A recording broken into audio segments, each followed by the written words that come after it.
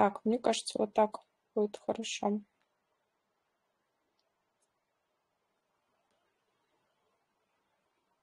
Да? Мгм.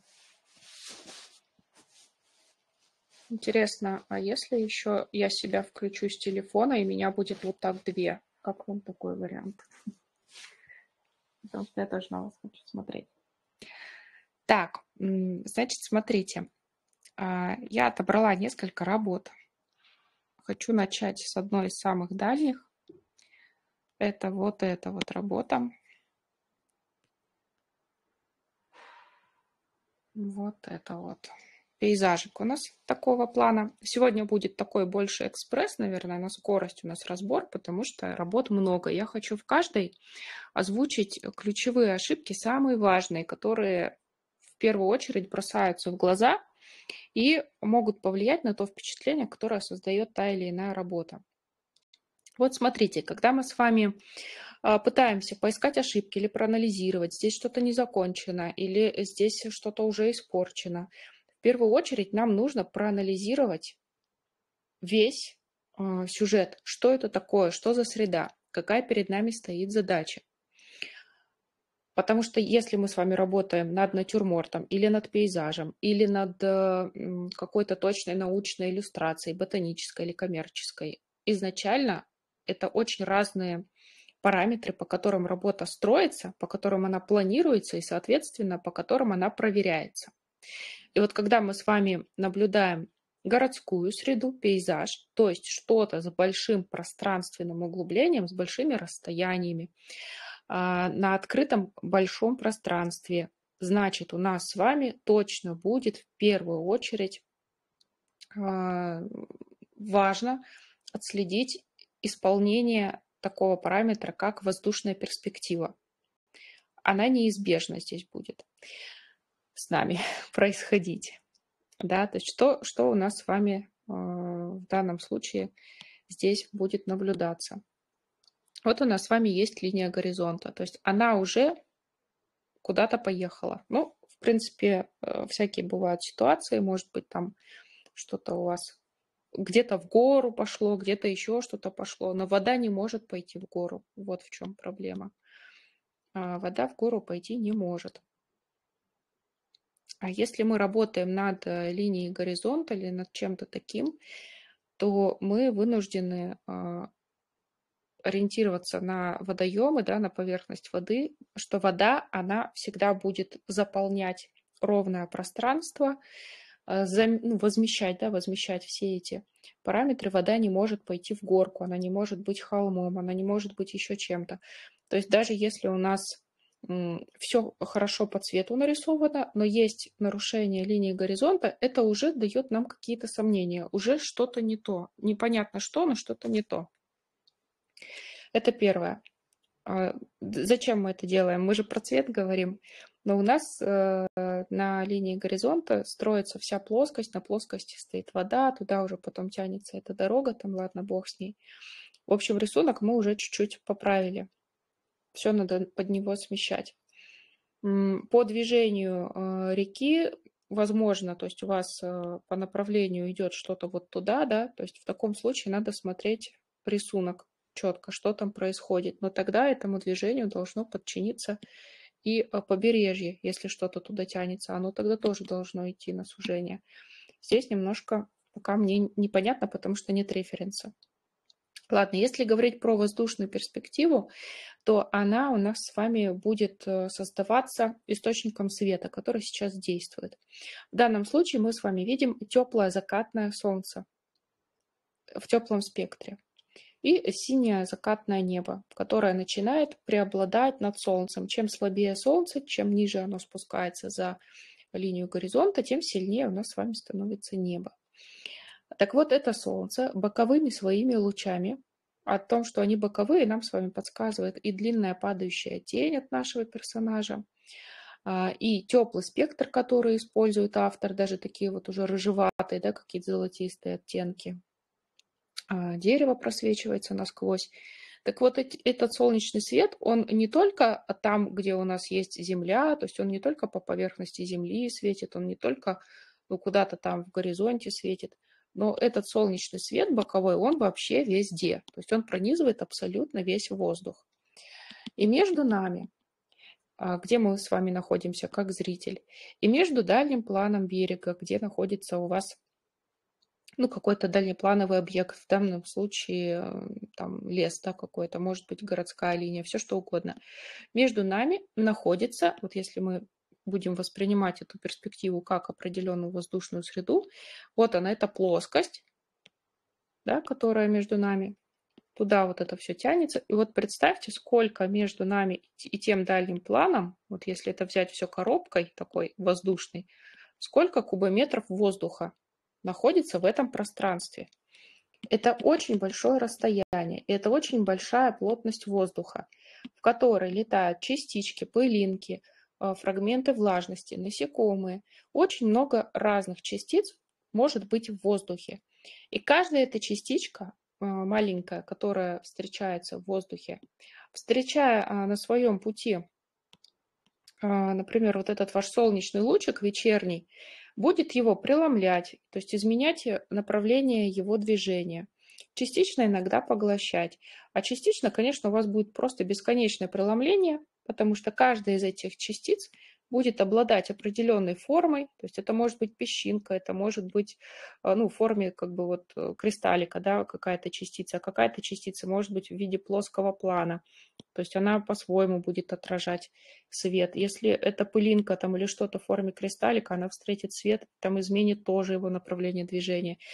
А, если это там капелька воды, она может сквозь себя провести фотончик света, и внутри уже, внутри капельки воды изменится движение света. То есть какие бы там ни были эти пылинки, насекомые, любые частички, какие в воздухе летают и нагоняются ветром, они все будут менять Солнцу направление и создавать такое мельтешение света в воздухе. И мы с этим явлением сегодня встретимся с вами не в одной работе, а в нескольких. Почему я так останавливаюсь на этом?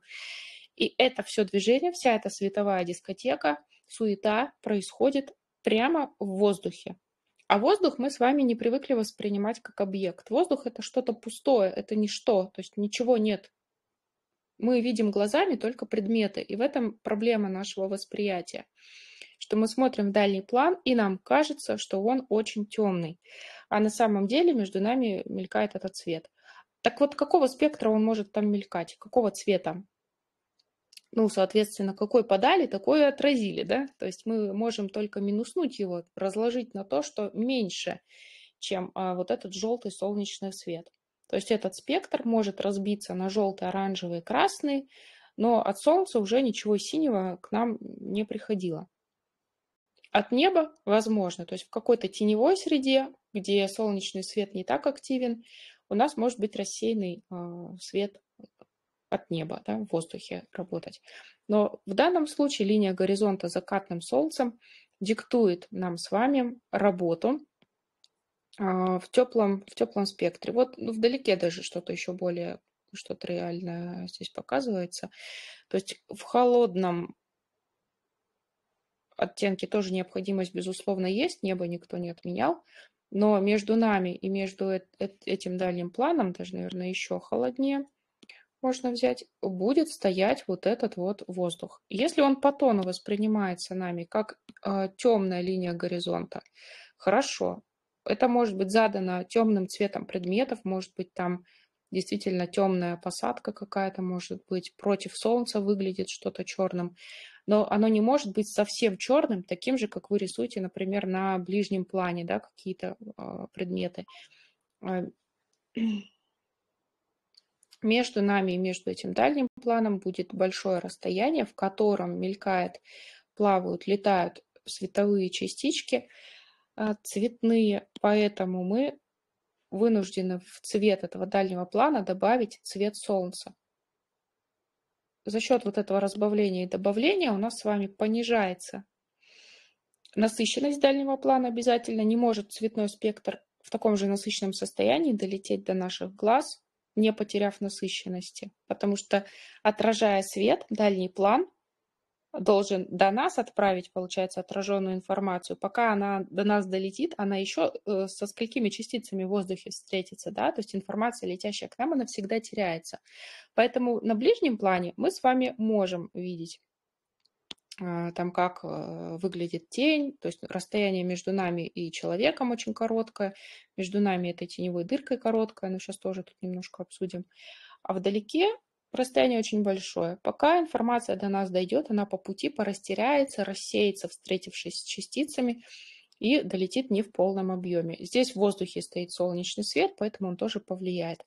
Градиент может быть, что влево пространство холоднеет, темнеет, вправо ближе к солнцу оно э, теплеет и светлеет. То есть здесь мы можем даже еще двинуться в более светлое, теплое качество, прям такой солнечный засвет, пересвет показать. И в целом ну, движение в левую сторону в охлаждение, потемнение, оно возможно.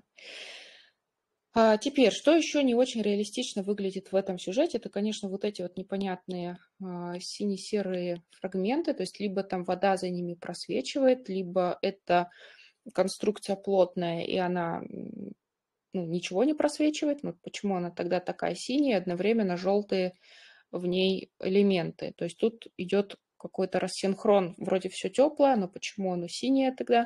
мы тут солнечное воздействие видим или какое, то есть тут путаница по материалам, по построению немножко. И вот здесь тоже, вот справа черная дырка. Мы видим черную дырку, это тени в кустах. Да, что-то такое. Но между нами этими кустами есть, а, посмотрите, сильно засвеченный асфальт и сильно засвеченная такая желто-зеленая солнечная трава, которые тоже отражают свет, который стоит в отраженном варианте в воздухе. А, и я бы вот на самом деле, наверное, чтобы эту дырку сделать, я бы пририсовала этот желто-зеленый воздух. То есть я беру желто-зеленый свет, отраженный от травы, понижаю его очень сильно по тону до не, ну, не черного, да, но до какого-то вот такого тусклого цвета. Вот такой вот цвет. На белом он выглядит как черный, а в сравнении с черным он выглядит как черно-зеленый. Подобный цвет возникает, если мы желтую краску с черной смешиваем. Я убираю, даже можно еще чуть темнее сделать, я убираю э, совсем вот эту черноту, которая такая типографски черная была. И мы размещаем какой-то вот этот темно-серый, который на белом выглядит как черный, на черном выглядит как темно-зеленый. А мы замещаем эти темные дырки вот данным цветом, да, то есть мы новую роль черного назначаем, ничего темного в сюжете быть не может. Тогда вот этот микропроцент желто-зеленого, который в составе э, содержится, он и будет имитировать тот желто-зеленый свет, который отражается от травы и стоит в воздухе. И сквозь него мы эту черную дырку, поэтому черной и не видим, потому что черная никакого света не отражает и не мешает нам видеть свет, стоящий в воздухе. Поэтому, когда у вас есть что-то черное в сюжете, не рисуем черным, а смело рисуем цветом отраженного света от поверхности, который ближе к нам. Черный дает нам возможность разглядеть этот цвет в воздухе. Светлые предметы не дают нам этой возможности. Вот, например, а, если, давайте я придумаю, да, сочиню, если здесь стоит какая-то темная фигура, вот здесь, допустим, то я ее буду видеть цветом отраженного света. То есть это темный вариант того света, который отражается от дорожки. Ну, золотистый, да, какой-то. Это если говорить про воздушную среду, не к тому, что вот близко оно стоит, и я так вижу, но если подальше там, ну вот с горами мы то же самое, в принципе, сделали. Но я не увижу этого оранжевого свечения вот здесь на воде, потому что вода отражает еще больше света и просто перебьет вот эти слабые светяшки, которые способна отразить Земля. Поэтому на светлых предметах, на фоне светлых предметов, отражающих много света, мы этого эффекта не увидим, а на фоне темных мы увидим цвет отраженного света. И тут таких нюансов очень-очень много. Но еще хотелось бы по грубым ошибкам, если бежать, то отметить, что а, от человека тень есть, да, там от деревьев тень есть, а вот этот вот забор в изогнутой проекции, он тоже должен отбросить тень Пусть она будет там короткая, низкая, потому что он маленький, но тень должна быть. Если там есть лодки, тоже надо смотреть, как они в воздушную среду уходят, что происходит, какого цвета вода, может ли она быть одного тона с небом, источником света. У меня есть подозрение, что в таком предзакатном состоянии тональность воды должна быть точно темнее, чем небо, которое туда отражается, потому что уже и небо не сильно светлое, и э, вода отражает меньше света, чем может отразить небо. Так, по этой работе есть комментарии?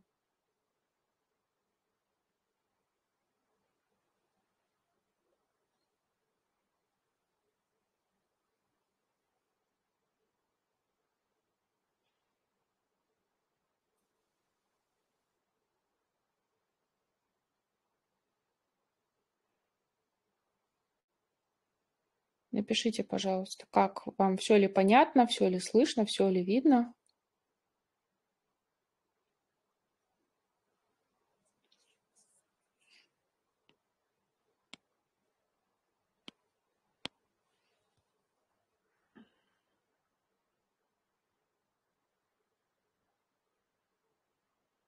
Я пока вам следующий сюжетик подготовлю.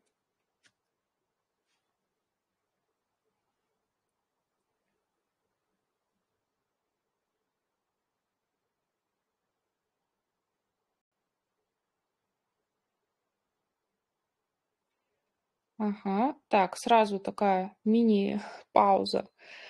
Не рекламная, а информационная. Я вижу, что вы сегодня обсуждаете тему кюветок на магнитиках, которые можно прикрепить в коробочке и заполнить красками. Просто очень быстрый технический совет.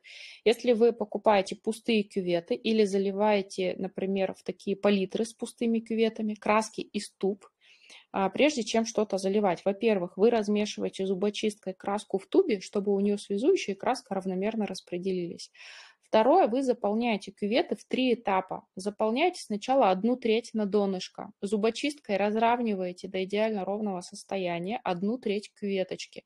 Сушите ее несколько дней. На гумиарабике краски сохнут 1-2 дня, а на медовом связующем этот слой сохнет неделю.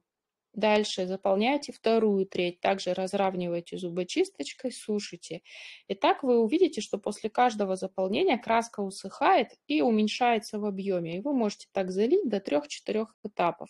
Тогда у вас кюветка будет полностью равномерно заполнена краской и при высыхании не будет трещин. Если вы зальете все разом, кучей большой, то у вас эта краска просто лопнет, и внутри будет такая трещина. А когда у вас есть трещина, там внутрь будет забиваться другая краска, когда вы не промытой кистью лазите, грязь туда будет забиваться, пыль, и все это еще изнутри будет сохнуть. А, ну, главное, что туда затекает грязь, и вы ее оттуда уже не смоете, как из идеально залитой ровной кюветочки. Это такой технологический процесс, который на производствах соблюдается. Поэтому кюветы э, производственные, да, фабричные, они без трещин. Так, отвлеклись. Продолжаем. Еще один сюжет. Еще один сюжет.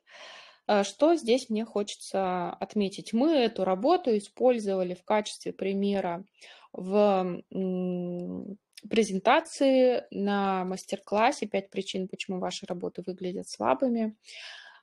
Вы можете запросить а, запись вебинара у нашей службы поддержки. Кто пропустил и первый раз об этом слышит, мы можем поделиться. А, значит, смотрите, здесь нарушено такое правило, это э, контрсвет, и не просто контрсвет, а цветной контрсвет. Принято считать, что контрсвет это только когда солнце или фонарь светит нам в упор в глаза, и мы вот против этого света пытаемся что-то рассмотреть. На самом деле любая поверхность, отражающая свет или являющаяся его источником, в данном случае небо, тоже является хорошей, удобной э, средой для создания эффекта контрсвета. А в данном случае у нас с вами на фоне контрсвета находится дерево, и э, контристочником света является небо.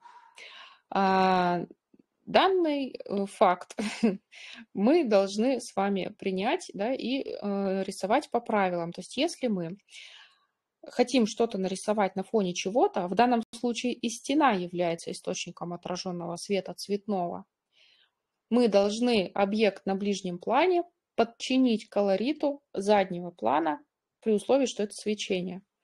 Поэтому если мы рисуем вот такой э, сюжет с деревом и ветками, а, то ветки на синем фоне э, следует отрисовывать синим цветом. То есть вы берете там цвет неба, какой у вас, и отрисовываете.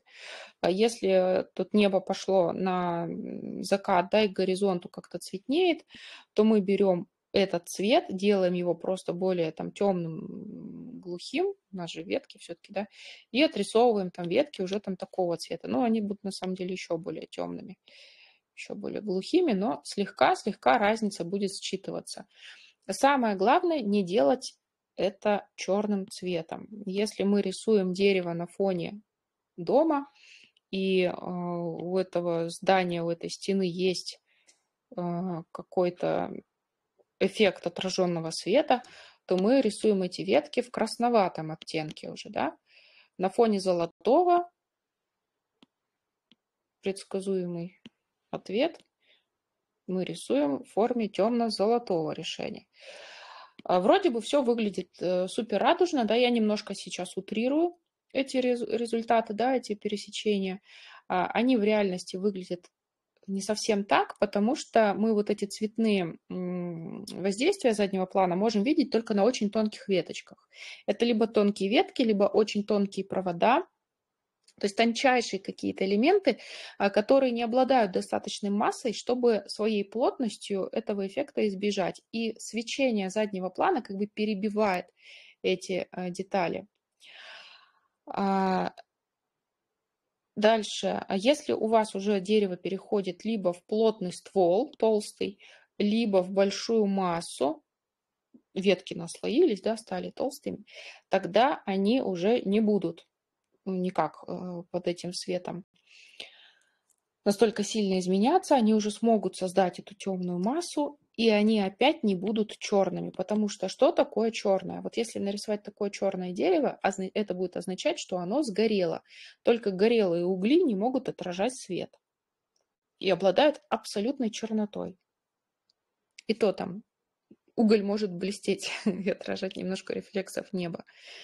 Но мы здесь тоже можем включить, а, во-первых, э, воздушную э, перспективу, во-вторых, критическое мышление. Но если ель изначально обладала каким-то цветом, но он же был, наверное, какой-то там из зеленой группы, приглушенный цвет зеленой группы, может быть, это был там более синий-зеленый цвет, но тоже в очень приглушенной гамме. То есть он не был ярким, он не был супер цветным. Здесь мы не сомневаемся, что, возможно, против света вам это показалось темным, но оно и не могло быть черным. И если имеется какое-то свечение, то мы также можем через воздушную перспективу передать не идеальную черноту, а с напылением источника света, который сейчас тут работает. И потом, если мы уже строим всю эту картинку более аккуратно технически, здесь просто все пятна, все ветки одной толщины. А если мы с вами будем работать, демонстрируя разные толщинки, то мы увидим, что у нас кончики веточек, где самые тонкие веточки, они будут более цветными и зависеть от того фона, на котором они расположены а более плотные массы будут более темными с включением самого цвета предмета, потемнение и цвет воздуха, который находится между нами и этим предметом. Ну и здесь еще немножко одинаково выглядит э, зона, которая за ветками, и вот эти открытые пространства, и от этого здания кажется аморфным, то есть непонятной формы, что за ним там происходит. А здесь еще такой живописный эффект, на самом деле, должен работать. Когда мы э, включаем просветы между ветками, пытаемся рисовать небесные просветы, или вот здание просвечивает между ветками, тогда эти окна, просвечивающие между темными ветками, включают в себя цвет ветки в замес, плюс цвет фона, то есть этого здания, мы получаем э, такой средний оттенок, как цвет предмета и цвет фона, на котором он расположен. Э, заполняем эти э, пространства, то есть эти пространства не должны настолько ярко активно гореть. и тогда произойдет вычитание цвета фоном. Цвет предмета, особенно если он яркий, активный, какой-то цветной, вычтет собственный спектр из этого цветного участка, который за ним виднеется, и а, этот объект, эти дырки между ветками, будут создавать оптическую иллюзию, что они того же цвета, что и а, предмет на открытом пространстве. Понятно? А если мы берем предмет скрытого пространства и также светло, ярко и буквально выкрашиваем его в дырки между ветками, то эти дырки выглядят слишком резкими и слишком светлыми, потому что такое черное дерево их оптически еще на контрасте визуально сделает более светлыми, чем они есть на самом деле. Поэтому мы всегда в дырках гасим, затемняем, смешивая с цветом предмета, который создает эти дырки. Так, обсудили. еще такой момент. Вот здесь, например, а, хорошо видна освещенная часть а, справа, да, по стене. Так вот, если на освещенной части даже есть какие-то теневые элементы, мы их не можем рисовать такими же коричневыми там, тонами, похожими, как в тенях используются.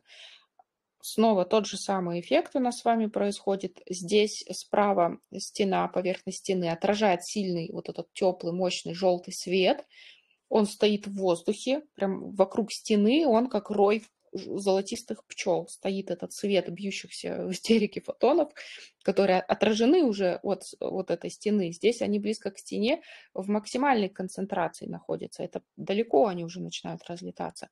Э, тут э, действует такой еще эффект, как световая перспектива. То есть у источника света, в данном случае источник отраженного света от стены, есть определенное свое расстояние, на котором э, его эффект еще заметен. И вот близко к стене это самый сильный заметный эффект. И вот этот свет, который здесь у нас с вами, вот он там желто-золотистый, да, отражен от стены, он вот здесь вот весь сияет, сияет, сияет, стоит в воздухе, и даже если там есть тени в каких-то балкончиках, то золотистый свет, стоящий в воздухе, не даст нам увидеть эти тени такими же темными, как, например, в теневой среде, где такого отраженного света сильного уже нет. А, это ошибка деталей, а, когда мы хотим в конце работы уже зафиналить и проставить какие-то детальки, акценты, мы очень часто прибегаем вот к этому а, действию, использовать одни и те же темненькие, протыкать их везде на свете, в тенях, причем на элементах э, разного цвета. И также э, часто поступаем с белилами, когда надо проставить какие-то светлые акценты, в масле это чаще встречается, и берется просто белильный какой-то оттенок, и одними и теми же белилами в свету и в тенях тоже проставляются какие-то блики и рефлексы. То есть это в корне неправильно доводить на финише одинаковыми инструментами такие вещи. Так, ваши вопросики, пожалуйста. Давайте я пока картинку попереворачиваю под вертикальный, чтобы вам было удобно. Мне что-то Наташа Нестерова пишет в чат. Что-то случилось с трансляцией или что? Я просто не имею возможности сейчас а, выйти и почитать.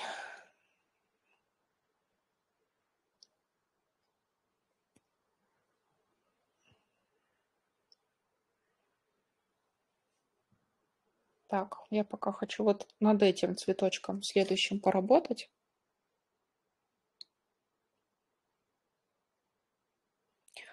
О, референс прислали. Вот о чем я и говорила, да? Видите сами разницу? И э, по забору, вот, который вы изображаете, да, золотистым. Тут надо посмотреть, что вот он где-то золотистый, потом он ушел в такой синий. Ну, в общем, интересный сюжет. И вот он прям показывает, что у вас тут весь дальний план в золотистом солнце.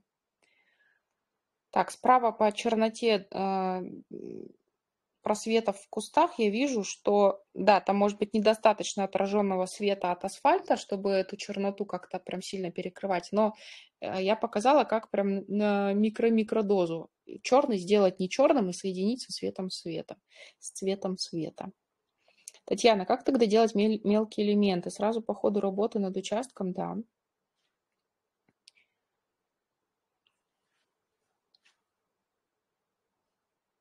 Без карандаша даже, потому что иногда мы не знаем, как там акварель у нас точно потечет. пятно цветовое на небе может э, получиться спонтанно, не запланировано. И мы уже под него потом подстраиваемся, когда сверху веточки рисуем под цвет фона. Э, это включение в цвет предмета, оно такое не, ну, немножко незначительное. Оптически, издалека, если смотреть, дерево, правда, может казаться черным. Но если приблизиться, мы увидим, что оно темно-синее, темно-зеленое, темно-коричневое, темно-там рыжее, еще какое-то. Оно на самом деле разноцветное. Чем сильнее фоновый источник света, тем сильнее это воздействие будет. Вот, я научилась смотреть чат сразу и не отключаться. Я имела в виду детали на здании в этой работе. Ну, смотря где. То есть понятно, что за деревом, наверное, не надо прописывать детали очень подробно. Надо учиться обобщать. А там, где здание открыто и его нужно выразить, надо анализировать участок. Это освещенный участок или теневой? А что там по законам свойственно для атмосферы, которая на крыше под солнцем происходит, и атмосферы, которая к нам повернута теневой стеной.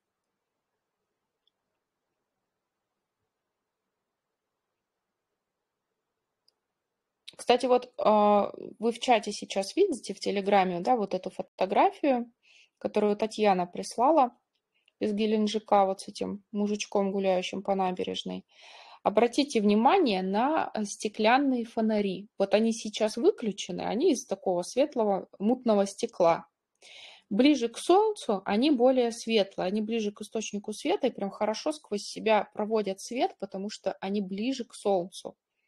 И они сами становятся а, таким вторичным источником уже рассеянного проведенного света. А тот фонарь, который самый крупный, ближе к нам, ближе всего, он уже от света очень далеко, он уже нам даже какую-то прозрачность немножко показывает, э, задний план за собой немного даже уже просвечивает. Вот этот момент тоже очень важно, что не все э, фонари одинаковые. А если бы это была вечерняя среда, и фонари бы горели и сами стали бы уже источником света, то тогда ближний к нам фонарь был бы самым светлым, а дальние более тусклым спектром бы рисовались. Так, но детали а, не обязательно прорабатывать сразу, потому что в процессе может возникнуть потребность что-то обобщить, и детали смоются. Но когда вы их ставите, вы просто внимательно смотрите, куда вы их ставите и какова роль этих деталей. Их просто нельзя в конце тыкать одним инструментом. Давайте перейдем к следующему автору, который прислал работу на разбор. Это сюжет вот с такой лилией.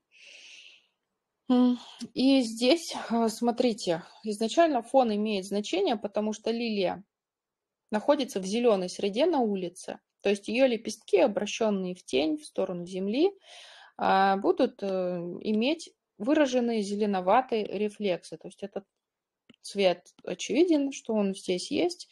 А, и сама лилия локально зеленое основание имеет у лепестков, но даже те лепестки, которые там не окрашены зеленью, они отражают зелень из окружения, поэтому она в тенях такая грязновато-зеленоватенькая. И автор этот цвет прекрасно видит, замечает и рисует в своей работе. Да? То есть, ну, видно, что зеленый пошел, э, желтый пошел в зеленое развитие. И мы тут видим несколько версий этого всего. Я так понимаю, в процессе что-то делалось, доделывалось.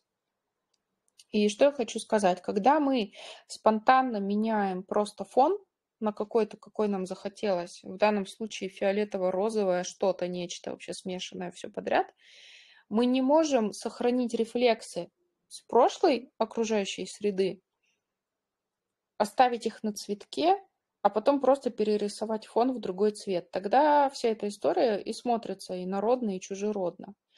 А Зеленый свет нашей э, вот этой клумбы был темным тоном, который также обрамлял светлые цветы и позволял нам работать в этих лепестках грязно, но они все равно светились, потому что фон был еще темнее, еще грязнее. Есть намек на лиловость, некоторую сиреневость. Это у нас асфальт на дальнем плане такой дает оттеночек. подчеркивает нашу лилию и по тону хорошо подчеркивает. Но это не просто там какой-то фиолетовый, да, который можно вмешать вот так вот в фон. То есть с переносом фона очень осторожно я прошу работать. Если вы его делаете абстрактным, там еще каким-то, ну пусть он будет по цвету приближен к реальности хотя бы, чтобы были согласованы рефлексы. Так, а, ну, по цветам я тут не буду сейчас докапываться, да, тут по нюансам есть моменты, что где-то стало очень серо. Единственное, что порекомендую, когда работаете с желтыми предметами и желтосодержащими, это желто-зеленый, желто-оранжевый. А для получения погашенного вот какого-то замеса используйте максимум желтого в густоте в базе этого замеса и к нему по чуть-чуть также густо добавляйте погашающий элемент.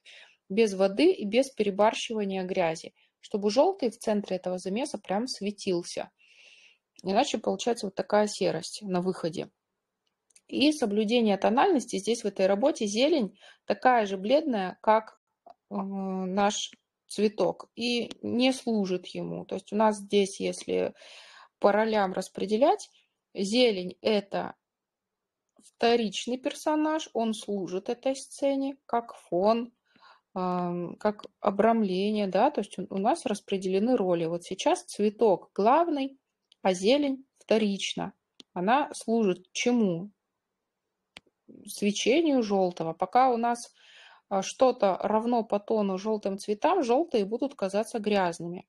Даже при том, что они сейчас в тенях э, чересчур грязные, да, грязнее, чем оригинал, и такой желтый не получился.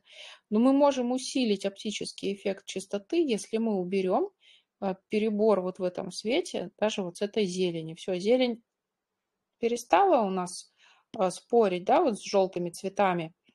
Желтым даже немножко вернулась какая-то цветность. И еще желтый – это очень благоприятный цвет для лессировки. А, даже если он получился какой-то у вас там сероватый, где-то грязноватый, всегда можно взять желтую красочку в прозрачном разведении. Кадмии для этого не подойдут. А, кадмий – это... Так, выключите микрофон, пожалуйста. Кто плохо сама... себя ведет? Вы М? плохо себя ведете. Сейчас я выключу микрофон. А, так, кадмий желтый – это очень плотная краска, дающая такая, такую матовость, укрывистость. Если мы будем кадмиями лессировать сверху, мы получим муть. А если вы возьмете прозрачную краску, ганзу желтую, там индийскую желтую, если тепленькая такая нужна, оранжеватая, а, желтый квинофталон, то есть что-то э, лимонное желтое, но это холодное желтое, ну, в общем, золотистое прозрачное. Если вы возьмете желтую, но в прозрачном лессировочном качестве, то вы можете прям поверх вот этих своих грязных теней сделать лессировку чистым желтым, как стеклышком желтым, и эти тени э, немножко наполнятся цветом. В акварели так вот с желтым очень хорошо работает. Всегда можно и зелень э, дотеплить желтой лессировкой, и тени в тенях можно в желтых предметах поднасытить, если не хватило в замесе. Не со всеми оттенками это будет работать. Вот. Ну, с фоном, конечно, надо смотреть, с какой целью создается этот фон, не будет ли он сильно много на себя забирать внимание вот такими очень активными акцентами. Хотя, хотя, если говорить про такой художественный нерв, и хочется вот прям, чтобы что-то завибрировало у зрителя в глазах, конечно,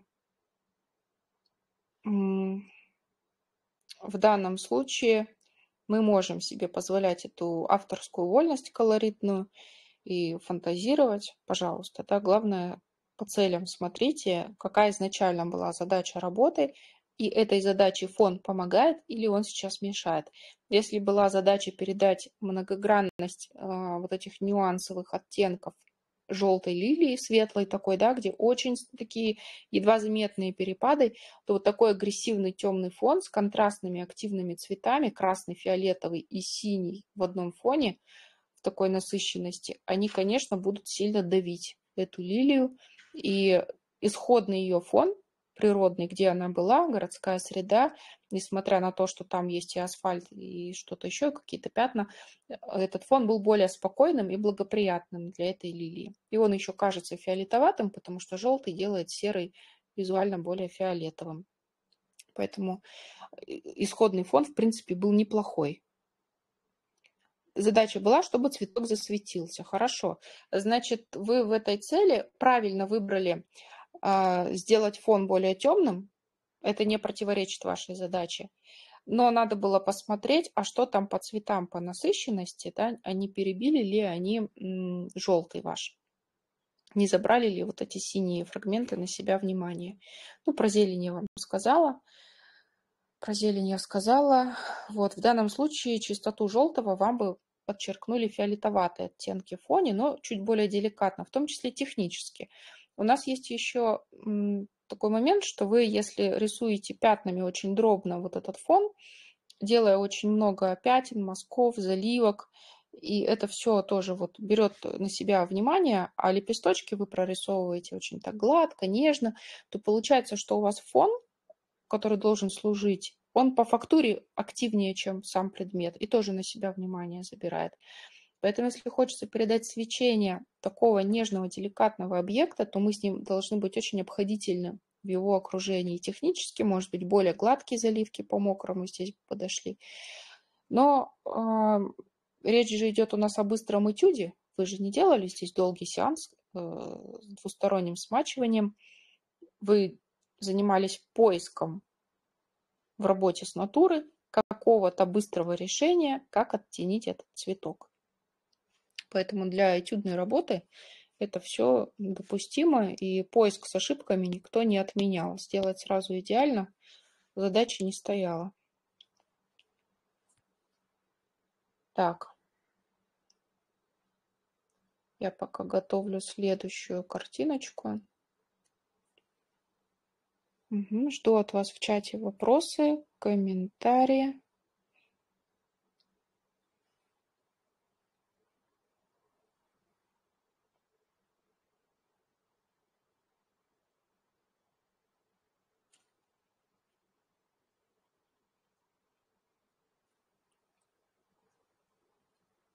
Так, так, так.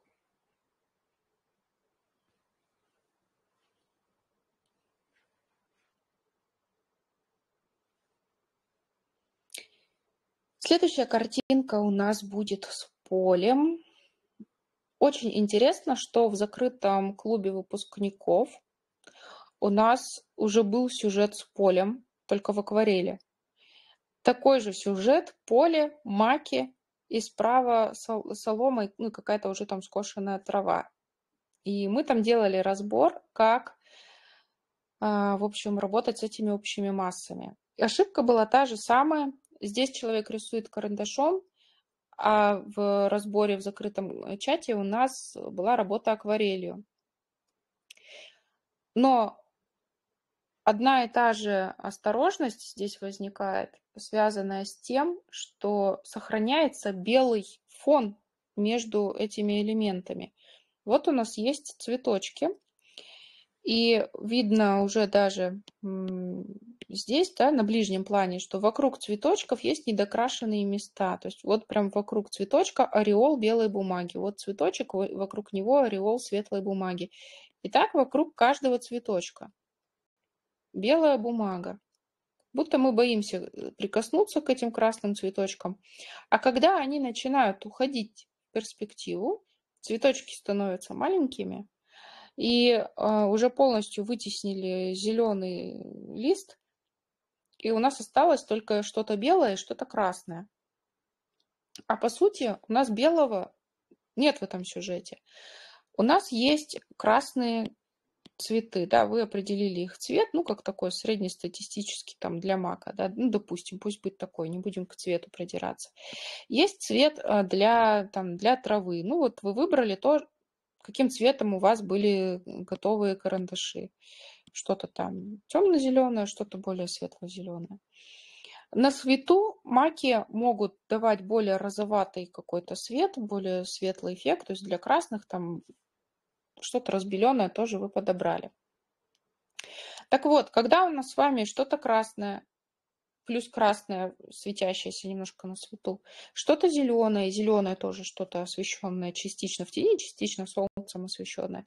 Но когда вот эти красные и зеленые начинают смешиваться друг с другом, у нас возникает с вами эффект а, ну, некого такого понтелизма, то есть когда э, множество там, красных элементиков начинает смешиваться с множеством зеленых элементиков. Что у нас с вами происходит? Вот если мы пытаемся вручную рисовать каждую фигнюльку, каждую детальку, а вот это вот рисование точками, это не что иное, а как невозможность отпустить детальную работу и отрисовка каждого цветочка отдельно. Да? То есть здесь мы находимся в заложниках такого рисовального мышления. Я рисую цветы. Я рисую цветы, значит, я должна нарисовать каждый цветок хотя бы точкой, чтобы зритель понял, что я рисую цветы. А мы э, просто так расшипериваем глаза, когда смотрим на оригинал. Вот если вы пришлете референс к нам в чат, будет классно. А мы просто расщуриваем глаза и смотрим на это как на пятно. А если на это посмотреть как на пятно, то мы с вами не увидим белого, мы увидим с вами красное смешанное с зеленым, плюс рассеивание воздушной перспективы голубым небом в нашем случае, да, то есть плюс пойдет охлаждение, посветление, мы увидим, что это такое пятно, смешанное из красных и зеленых точек. То есть это будет больше коричневатое что-то, преобладающее либо в красную, либо в зеленую сторону, в зависимости от того, каких элементов там у вас в референсе будет больше. Плюс охлаждение потемнения. Но белого в них нет. То есть если там идет светлота, то от воздушной среды. А так у нас э, возникает ощущение, что во всех этих цветах еще растет такой белый ковыль. Такая трава с пушистыми колосьями белоснежными, очень такая пушистая, э, с колючками трава. Вот такое тут возникает ощущение. А, поэтому, когда мы рисуем на ближнем плане, мы с вами еще можем поделить объекты на раздельные. Вот цветок, вот трава, до зрителя донесли. И то даже общими пятнами это можно делать.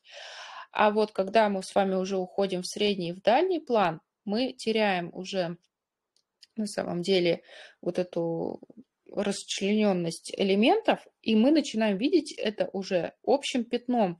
И поэтому здесь вполне возможно, референса нет, но в нем надо искать, в нем надо смотреть, а, будет э, цвет вообще какой-то даже вот отсюда. То есть грязно-красно-зеленый, если бы был. Ну, то есть уже вот так вот просто может быть. а вдалеке мы с вами уходим в большее погашение рассветления. Вот так. То есть мы работаем пятном. В дальнем плане мы цветов не видим, но мы видим смесь этих цветов вдали в одно пятно. Красное с зеленым там замылится и будет так. Надо посмотреть на референсе, что именно как там у вас выглядит, и там показать, какое именно там будет пятно. Но в целом будет типа такого. А плюс еще возможно, вы тут тоже увидите, ну, подобие там цветов в виде пятен там каких-то, да, но это тоже будет уже уход в дальний план, то есть этот красный, он будет такой грязно погашенный. На фоне зеленоватого зеленоватой массы зелени, и эта масса зеленого будет вычитать эту зеленую грязь из красного, и красный будет оптически казаться красным. Этот прием вычитания цвета фоном мы проходим на курсе «Цвет», но и его мы очень часто встречаем как раз в дальних планах, когда кажется, что что-то цветное, а на самом деле оно погашенное, а фон вычитает из этого. Поэтому вот работа таким красно-коричневым может создать идентичное ощущение, как ярко-красного на ближнем плане, при условии, что мы этот красный смешали с зеленым, нанесли все большими массами, и э, оптические иллюзии начали работать сами за нас, без необходимости рисовать отдельно красные цветы. В общем, надо смотреть референс, что там происходит. Еще что в таких работах мы наблюдаем? Э, вот валики. Автор меняет в перспективном сокращении размер предметов. Это хорошо, но оставляет одинаковым цвет и тон теней, которые используются. То есть воздушная перспектива снова у нас не работает. Если мы работаем над валиками дальнего плана, то мы их э, делаем нельзя подвинуть, да, в тенях, просто тени определились вообще в розово-фиолетовом, у вас солома золотистого цвета, значит, тени будут более теплые, серовато-погашенные, не фиолетовые. Вот, и они не будут такими темными. То есть мы в них добавляем воздушности, в то время как тени ближнего плана могут быть более ясными, да, то есть мы темноту отслеживаем, но не фиолетовые они будут. Они будут цвета предмета затемнением и погашением. Легкое охлаждение от рефлексов неба, конечно, будет в тенях участвовать, но не до фиолетового цвета. Но так как вы работаете карандашами, возможно, у вас просто нет нужного цвета, и вы выбрали самое темное, приглушенное, холодное, что могло бы тут сработать как тень. То есть надо смотреть, от чего произошла эта ошибка, от невидения цвета или от непонимания, какой сделать тень там, в этом предмете, да, например. Еще э, исключительно такой совет по штриховке. Когда вы работаете над плоскостями, над формой, и эта форма у вас э, уходит в дальний план, в перспективу и сокращается, э, сокращение в дальний план у нас происходит с уплощением ближе к горизонту, и ближе к нам у нас идет наоборот, на увеличение, да, эта перспектива то штриховка, она в ближнем плане еще где-то у вас может быть, ну, там, вертикальный, а, да, с диагональными какими-то тушевками, но вообще плоскость определенно горизонтальная, и если бы вы штриховали этими карандашами все то же самое, даже если ошибка в цвете есть, но если вы будете штриховать все то же самое, а, но в горизонтальном направлении, то у вас больше было бы ну, такого эффекта, впечатления, что это там холмик, да, и он сокращается. То есть это выглядело бы более реалистично на самом деле. В данном случае направление штриха имеет очень большое значение. Все то же самое, но горизонтально. И сама фактура горизонтального штриха с этими перебоями на бумагу и нечаянно прочерченные жирные штрихи создавали бы вам просто эффект неровного вот этого поля, которое где-то сокращается, и где-то эта волнушка отчертилась там какой-то тенью. Вот, поэтому на больших пейзажных планах вдаль работаем горизонтальным штрихом. Так, Здесь, в принципе, наверное, все из такого основного. Ну и, конечно, темнота на дальнем плане темнота на ближнем плане не должна быть равной. Если вы в дальнем плане используете такие плотные ели, что вполне бывает, то на ближнем плане тогда нужно следить, а, какой темноты будет трава ближнего плана. Она должна быть еще темнее, чем дальний план. Это раз. Вот. Ну и по, цветам надо тут смотреть. То есть надо тогда дать возможность ближнему плану вытянуться на нас, на зрителя. Жду ваши комментарии. Все ли понятно?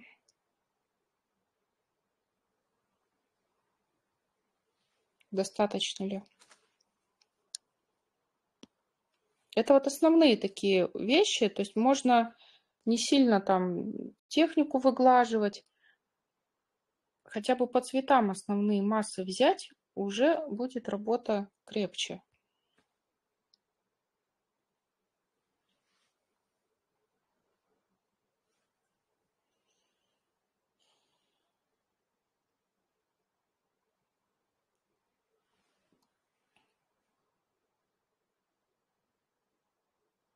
Мгм. Ладно, пока ничего не пишете, значит смотрим. Смотрим дальше. Следующий сюжет с водопадом. Мне очень понравилась эта идея и исполнение. Особенно мне понравилось, знаете что? Вот эта грануляция с расплыванием краски в воде. И вот это есть вот те самые эффекты акварельные, такие случайные, когда вот оно все ползет, течет ничего конкретного не нарисовано, но фактура а, создает очень такое точное ощущение реального объекта. Вот это мне очень нравится. И на фоне непонятно, то ли это скалы, то ли это ели, но такая случайная какая-то плоская протащенная кисть не дает сомнений, что мы находимся на природе. Да не могу выключить, подожди тогда секунду. Что мы находимся на природе, это реальные фактуры. И вот э, с технической точки зрения мне очень понравилось, как это исполнено.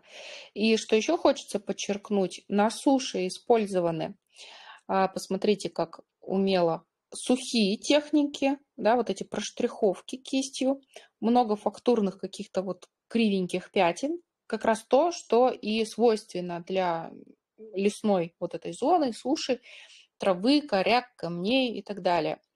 А в той части, где автор рисует подводную часть, используются более мокрые техники, более плавные переходы, больше таких обобщений, то есть через фактуру самого мазка автор очень здорово передает фактуру этого места. И вот здесь еще на суше дается такой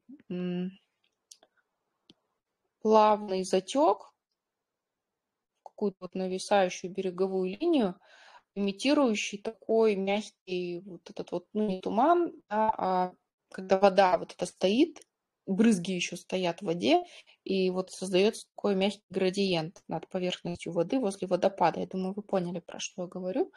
То есть вот здесь тоже уместно это включение мокрой фактуры.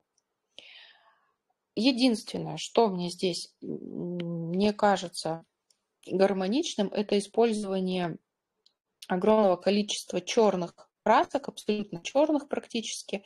Я бы здесь тоже, наверное, ввела их в сторону а, чуть более мягких, да, имитация черного. Пусть это будет самое темное на суше, но пусть это будет э, вот что-то из цветового тела, а, там коричнево-зеленый, да, абсолютно в колорите вашего сюжета.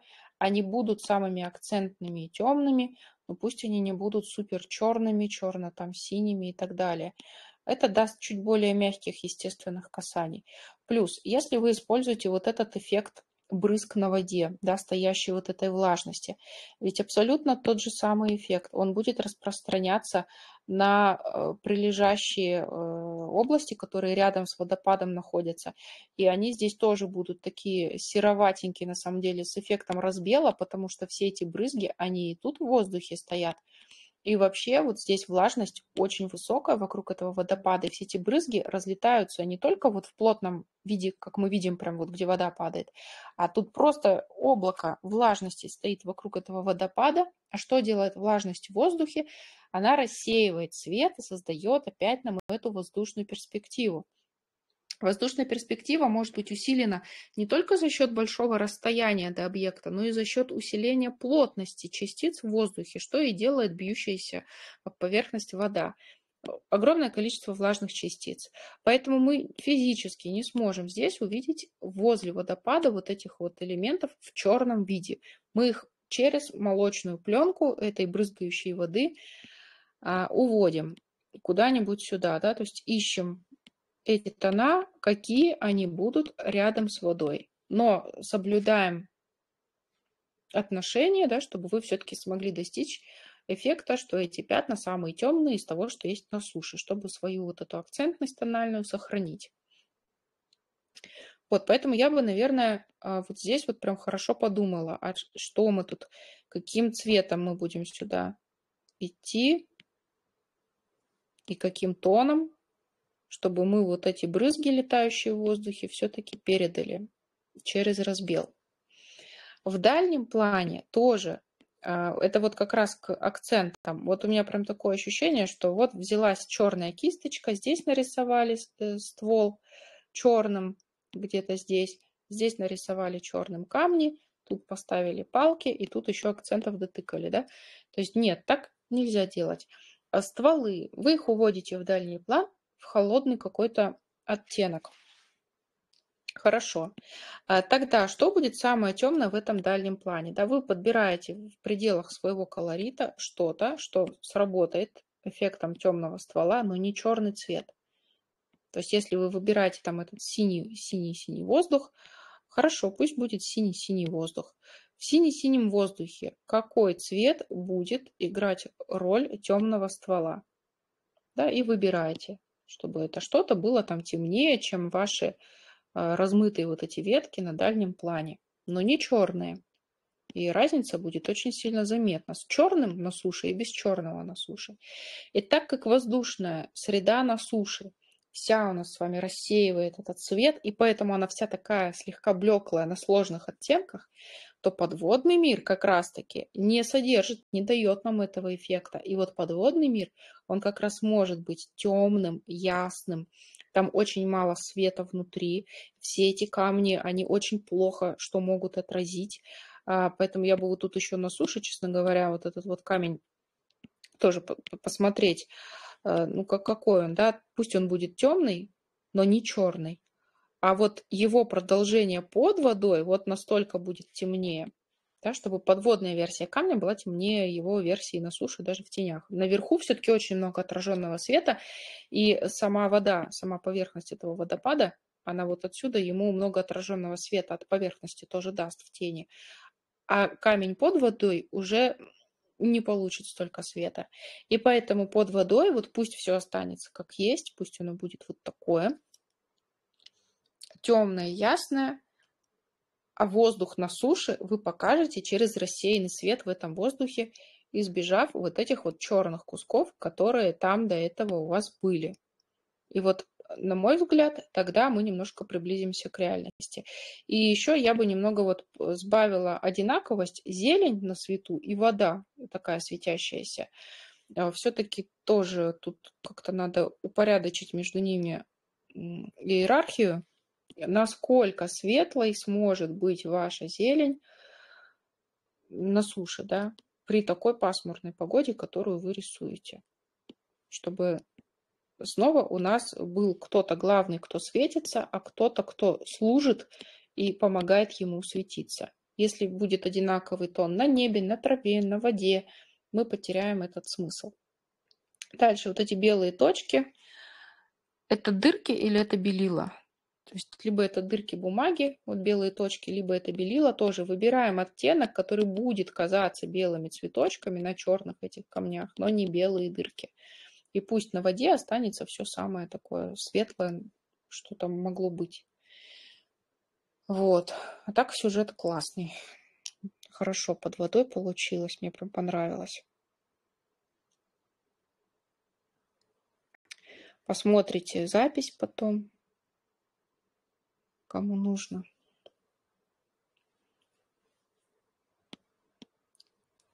Так, я пока иду к следующему автору.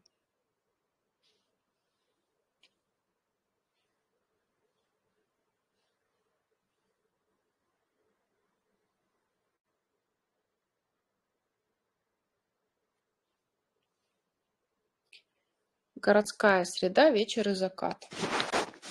Не буду даже ну, сильно много тут рассказывать, потому что многие из вас уже с этим знакомы, и мы сегодня уже эту ситуацию разбирали. Но первое, что хочется сказать, это то, что источник света всегда будет сильнее поверхности, которая его отражает, даже если это вода или зеркало. И, конечно, дом плотный, в теневой отвернутой от света среде не может быть таким же светлым, как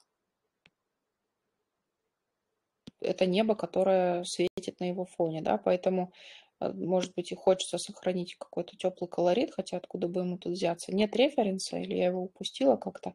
Мне кажется, тут должна быть холоднее, во-первых, среда. А, это раз, да, я так образно холоднее сделаю. Холоднее и темнее, раз. Окна светиться там могут. Вдалеке в рассеянном свете в воздушном пусть уходит. Асфальт точно не может быть таким светлым.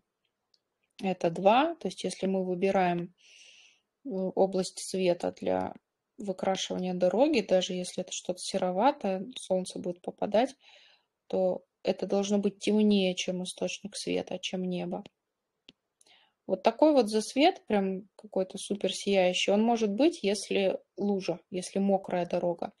А если дорога не мокрая, то, возможно, придется с этим как-то немножко пободаться. Ну, там дадим немножко свечения, да, но не такое желтое, не такое яркое, как в небе. Небо – это источник света, он должен быть самым активным. Естественно, у нас машины не могут содержать в себе ничего белого, даже если на них что-то светится, но это точно не, не белое, снежное что-то. И э, если у вас э, какая-то часть дороги находится в тени, то она не будет черно-зеленой, да, черным может быть только уголь или бархат или дырка. То есть вы тут ищете свой оттенок холода для вашего асфальта, прорабатываете его. Если это забор, он находится в тени, отвернутый от света, он не может быть такой же светлый, как облака на небе или как асфальт на максимальном свету. Тоже ищите его состояние, насколько он будет здесь темным, никаких белых столбов не будет, да, все, вы рисуете тень. Это вечер, тут только цветной спектр. То есть вы вот эти все штуки э, обобщаете, затемняете и избавляетесь от э, того белого всего, что было до. Я вот, к сожалению, не сохранила оригинал. Пам-пам. И нарисовала поверх фотки. А фотка была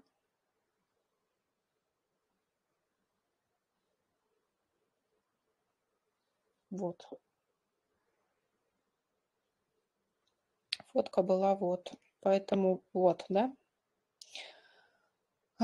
Не может быть на Земле такого же всего белого, как на небе. Если мы усредним немножко вот эти качества, да, сделаем погашенным, и холодок оставим, и тепло оставим, будет полегче нам.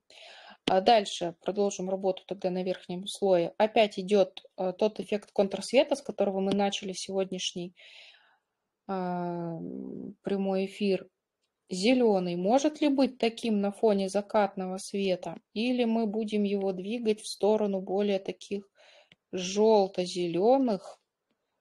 Это раз, да, на просвете. То есть именно в контурном эффекте это будет э, видно. Плюс, если мы смотрим против Солнца, то преломление по форме происходит через красноватый спектр, его угол отклонения таков, что мы по контуру предметов очень часто видим именно краснинку, и в пейзажах это можно заметить. Серый э, столб не будет серым, он тоже будет там в цвет вашего закатного э, неба и солнца, да, то есть мы это все подгадываем здесь, и про это то же самое. Какой он тут будет у нас? Желтоватый, да, будет. То есть вот эти вот красные спектряшки, блестяшки, они по контурам ваших предметов везде теплом вылезут и сделают эм, эти элементы как бы более встроенными в среду. Ну, тут, кстати, что-то такое было, да, у вас попытка рыжеватенького здесь встроить. А сам по себе массив этого дерева, конечно, он тоже не будет таким же там бледным, как асфальт на свету и так далее. Это сильный разбел, он прям как будто с белилами этот цвет. Мы можем уйти в более темные сложные состояния зеленых, да, они будут глухие, но они будут э, не, не такие белильные, что ли, да. То есть для такого времени суток нормально, что масса деревьев занимает темное тональное пятно в цветовом теле, это неплохо. И они могут быть там действительно очень глубоко темными, потому что нет достаточного количества обратно отраженного света, чтобы эти кусты против света что-то тут особо подсветило. Но если мы посмотрим на то, что эта крона, эта масса дерева не везде одинаково по плотности, да, и где-то она может просвечивать теплый спектр, который светит с обратной там стороны, то можно сюда по температуре некоторые различия ввести. То есть дерево это как раз то, что следовало бы утемнить. Там вот это здание тени, там это то, что следовало бы утемнить против света, мы смотрим, да, контрсвет. Я думаю, что оно там на самом деле еще темнее будет, если мы посмотрим а, по референсу. Надо прям смотреть, что там происходит, какого оно было цвета, но оно в касании с небом точно будет очень темным. Там надо смотреть по воздуху, как будет. Ну и все, эти машинки, они тоже в тени будут уверенно более темными, ничего белого не будет. В целом хочется сказать, что в вечерних сюжетах, когда у вас все пошло на закат, начинаются вот эти вот истории с низким солнцем, просто сразу автоматически начинаете видеть, пожалуйста, то, что у вас область того, что стоит на земле, вот что бы там у вас ни было, это все будет более темным, чем то, что у вас происходит на небе. Потому что при низком солнце, при ослабевании силы источников света, поверхности на Земле рыхлые, шершавые, слабо отражающие, цветные. Они моментально теряют способности отражать много света, прямого света солнечного дневного нет. И если днем там какой-то дом мог быть светлее неба на солнечной стороне, то вечером на закате все, что находится на Земле, становится такой цельной, темной декорацией относительно неба. Вот эту цельность надо научиться видеть. Очень рекомендую всем сегодня вечером отправиться на прогулку и понаблюдать а за тем, что светящимися элементами у вас могут быть разве что, может быть, какие-то окошки, которые прям вот обращены, не знаю, там в сторону там, солнца и могут там на своем фасаде что-то засветить. То есть какие-то стеклянные фасады могут, да, что-то отразить, но в целом все здания будут очень темными. Или если у нас, например, с вами есть какая-то лужа перед нами, а, вдруг там образованная, да, то есть посреди всякого темного окружения, асфальта и так далее, возникает, например, какая-то лужа, в которой может отразиться там небо, но оно тоже, кстати, будет отражено темнее, чем само небо. То есть надо будет смотреть, а насколько тогда вокруг, вот это еще темнее, там надо сложить окружение – на асфальте, чтобы там какая-то лужа отразила то, что у вас происходит в небе, на тон темнее, чем в небе, но при этом оно бы еще и светилось. То есть по иерархии тональности на первом месте самое светлое будет источник света, на втором месте будет глянцевая поверхность, от которой может отражаться эта вода или стекло, и только на третьем месте будут уже матовые, шершавые всякие поверхности, которые очень плохо отражают свет. Темнее, темнее, темнее. Вот, это все про зоны света, да, и только на четвертом месте будут зоны э, теней, которые могут получать какой-то обратно отраженный свет и не будут супер темными. И самыми темными будут участки, которые находятся в тени и не получают вообще обратно отраженного света или очень незначительно мало. Поэтому в вечерних средах, на закатах, на улице обратите внимание, насколько темные дороги, асфальты, машины, нет ничего белого. И мы сейчас перейдем Видите, когда все обобщилось, общий цветовой тон солнышко мы включили, синие, холодные, чистые не использовали, везде использовали теневые, приглушенные э, с золотистым цветом в составе, поэтому убрали вот эту черноту, белизну, желтизну, и городок такой обобщился в естественную среду. Референса я не знаю, не вижу, да, но ориентируюсь на законы естественного развития природы более-менее, насколько это можно по-быстрому сделать. Так, есть ли вопросики? Очень наглядно, когда затемнили полностью. Хорошо. Хорошо. Пока вы, может быть, что-то напишите, я хочу вот эту штучку показать вам. Здесь будет две картинки. Был комментарий от автора в чате, что был нарисован свет, ну, насколько я помню, да, был нарисован свет, но после нанесения вторых слоев свет куда-то пропал.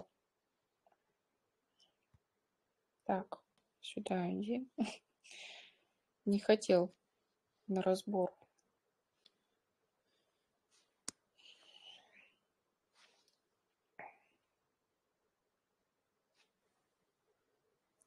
Кстати говоря, поделитесь, пожалуйста, как вам разборы на iPad сейчас и ну, по сравнению с разборами, которые мы всегда с вами делали в фотошопе раньше. Как вам больше нравится?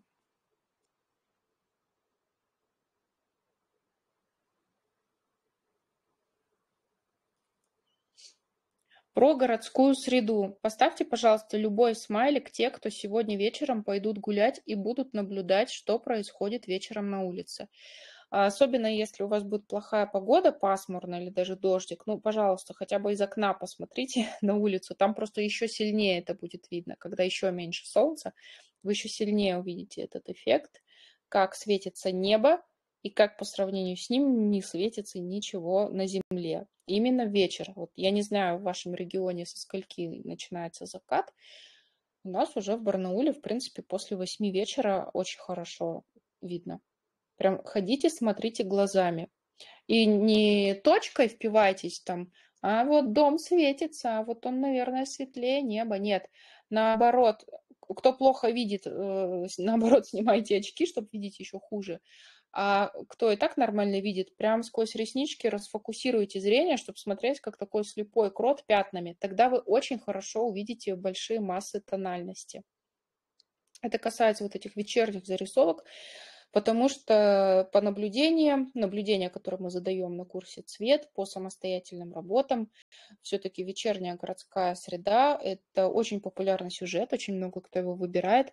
И вот это самая распространенная ошибка, которая встречается, это рисование на суше на земле, вот в этих теневых средах вечерних, какие-то белые колеса, э, люди в белом, белый асфальт, все белое, заборы белые, дома белые – а при этом небо еще темнее выглядит. То есть если вы смотрите в упор на то, что на Земле находится, то вам так и покажется. А если вы всегда будете ориентироваться на сравнение с небом, то будет лучше видно, насколько по темноте обобщено то, что находится на Земле. Обязательно прогуляйтесь сегодня, поделайте фотографии. Фотография очень хорошо помогает в том плане, что фотография – это маленькая картинка, это уменьшенный формат, где вы лучше видите общие пятна. Но если мы срисовываем с фотографией и также упором в точку смотрим в каждый предмет и копируем его отдельно, тогда фотография не помогает, к сожалению. Хорошо помогает посмотреть через полиэтиленовый пакет. Это, конечно, будет выглядеть странно, я не настаиваю, но это очень снижает как бы вот эту детальность и показывает только основные крупные пятна.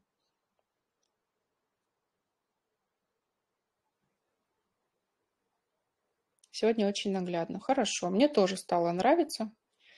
Сразу быстренько что-то накидать.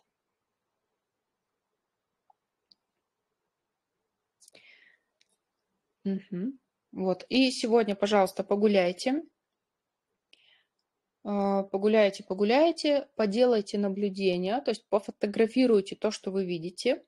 И вы можете поделиться сегодня в чате нашей школы, прикрепляйте фотографию сразу к фото свой комментарий. А что вы там сегодня для себя интересного отметили?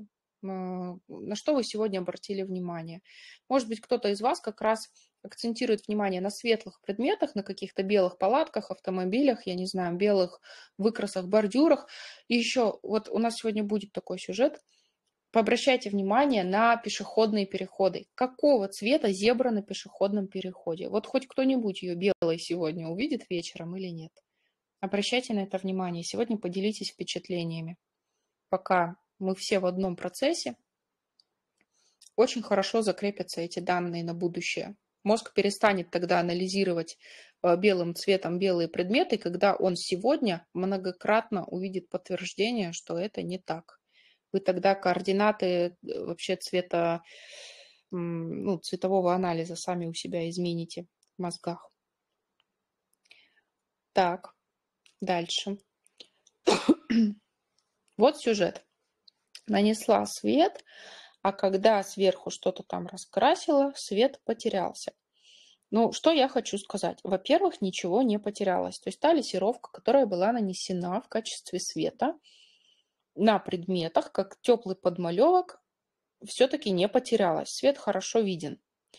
Единственное, что почему-то из э, цветового подмалевка исчез, а, исчезла работа над фигурами людей, которые тоже должны фронтальной левой стороной вертикальной быть обращены к свету. То есть у девочки, ну я не знаю, кто это, девочка или нет, в общем, красненький ребенок, фронтальная часть слева находится, смотрит в свет. Черненький ребенок, у него, значит, должна быть левая рука, спина, голова, ну остальное может быть в тенях. Ну, может быть, он весь в тени, если э, проекция теневая как-то так шла, не знаю я бы какое-то тепло э, в сторону света добавила. То, что, возможно, вы переживаете, что вот эта часть неба пропала, ну, значит, сверху что-то сильно много нанесли, холода какого-то, да. То есть, если мы делаем подмалевок и покрываем его более активным синим замесом, конечно, он перекроется, но он все равно, тем не менее, виден. Поэтому я не вижу в этой работе каких-то супер больших проблем с этим. Здесь, если потеряли, ну, тоже, да, значит, сверху нанесли очень густой слой э, более холодного тона. И вот в этой всей истории единственное, что бросается в глаза, это белое лицо. То есть у вас цветная среда. Есть либо а, синий свет, либо желтый свет. Все, третьего не дано. Белый невозможен в этой среде. Но у нас тут белое лицо, и вот эти все белые тапки в такой темной среде, даже если они лессированы голубым или розоватым, они выглядят как белые тапки, потому что в тени оно не может быть так же светящимся, как источник света. Предмет отражает меньше, чем сам источник света. Вот. Сам сюжет немножко странный такой. Не очень понятно направление света, сколько света будет на этих человечках. Потому что не очень понятна форма этой геометрии, на которой это все находится. А, вот. Ну, в целом интересно. Мне очень нравится, когда с такой фантазией подходят к изображению.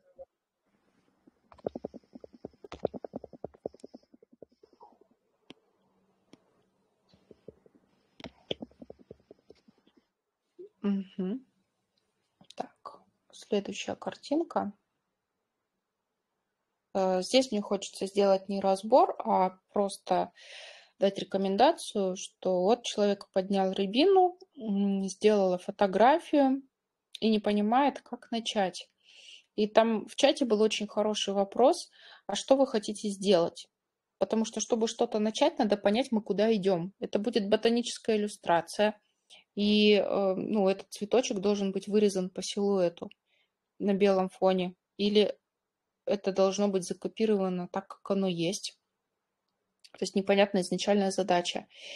А если все-таки стоит задача закопировать как есть, я бы тут порекомендовала двуцветную работу в два цвета, в черный и красный. А, взять красный, но не красный кадмий, потому что кадмий дает в смеси с черным мутность и такую ну, мутную белильность, она нам не нужна.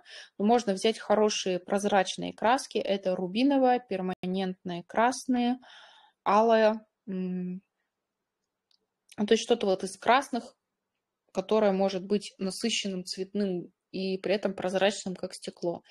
И взять в смесь э, теплую черную, например, сажу газовую или кость жженую. То есть какую-то черную, которая без синего оттенка, а больше с коричневатым теплым оттенком.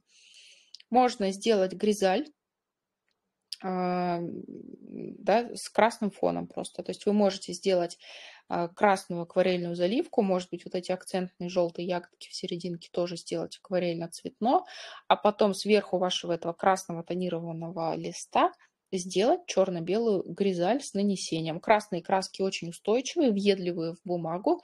А, при хорошем качестве бумаги и таком деликатном смачивании сверху можно принципе, все эти эффекты по мокрому, по красной первой просушенной заливке повторить. Предполагаю, что будут проблемы, если копировать кирпичи или что-то еще, потому что вот сразу на будущее вообще всем, кто такое хочет рисовать. Обратите внимание, что, например, в этом участке мы видим кирпичный шов, который выглядит насыщенно красными, и мы его видим за счет вот этих желтых а, эффектов света, да, которые эти э, швы красные нам демонстрируют. А в более теневой среде сами кирпичи более красные и швы между ними темно-красные, но не черные. То есть по цветовому телу они определяются в зоне среднекрасных, даже ну, не до супер темно-красных они доходят. Но по первичному восприятию начинающих художников обычно просто берется красная заливка и просто рисуются одинаковые везде вот эти кирпичи. Здесь тоже будет работать перспектива источника света. Вот какой-то красный засветил, в центре ореол пересвеченный, дальше пошли кирпичи темнее, дальше кирпичи пошли еще темнее. То есть тут даже вот эти кирпичные швы, они все градиентные и меняют свое э, свойство светлоты и насыщенности по удалению от источника света. А если речь идет только о копировании там, веточки, которая находится э, в центре, если мы только хотим как-то вот красоту листочков передать черно-красную, то, пожалуйста. Обратите внимание, какая сейчас создалась оптическая иллюзия. Я взяла один бордовый цвет, нарисовала кольцо, часть кольца зашла на светло-красную зону, и линия выглядит как черная, а часть кольца зашла на черный фон и выглядит как светло-красная. При переходе между этими двумя зонами линия выглядит как градиент. Мы с вами недавно в чате спорили про шахматную доску, где а, мы соединили серой линией две клетки и показали, что они одинаковые. Но из-за разницы окружения эти прямоугольники, которыми мы соединяли две клетки одинаковым цветом, они показались градиентными. Вот, пожалуйста, то же самое. То есть иногда для того, чтобы создать эффект градиента в каких-то швах, деталях, еще в чем-то, не надо делать линию разноцветной, надо сделать окружение разным по тону. И мы с вами вот этот вот эффект, вот сейчас мы его и наблюдаем. Если я этот темно-красный выкрашу одной сплошной линией, то будет казаться, что двигаясь вниз, этот цвет темнеет. Но даже не вниз, а если мы его в центр поведем, где вообще максимум светлоты, то тоже будет казаться, что это Э, часть уходит в градиент, а кверху как будто бы этот красный светлеет. Это вот такая оптическая иллюзия, которая тоже придает определенные свойства через окружение. Окружение очень влияет на восприятие цвета.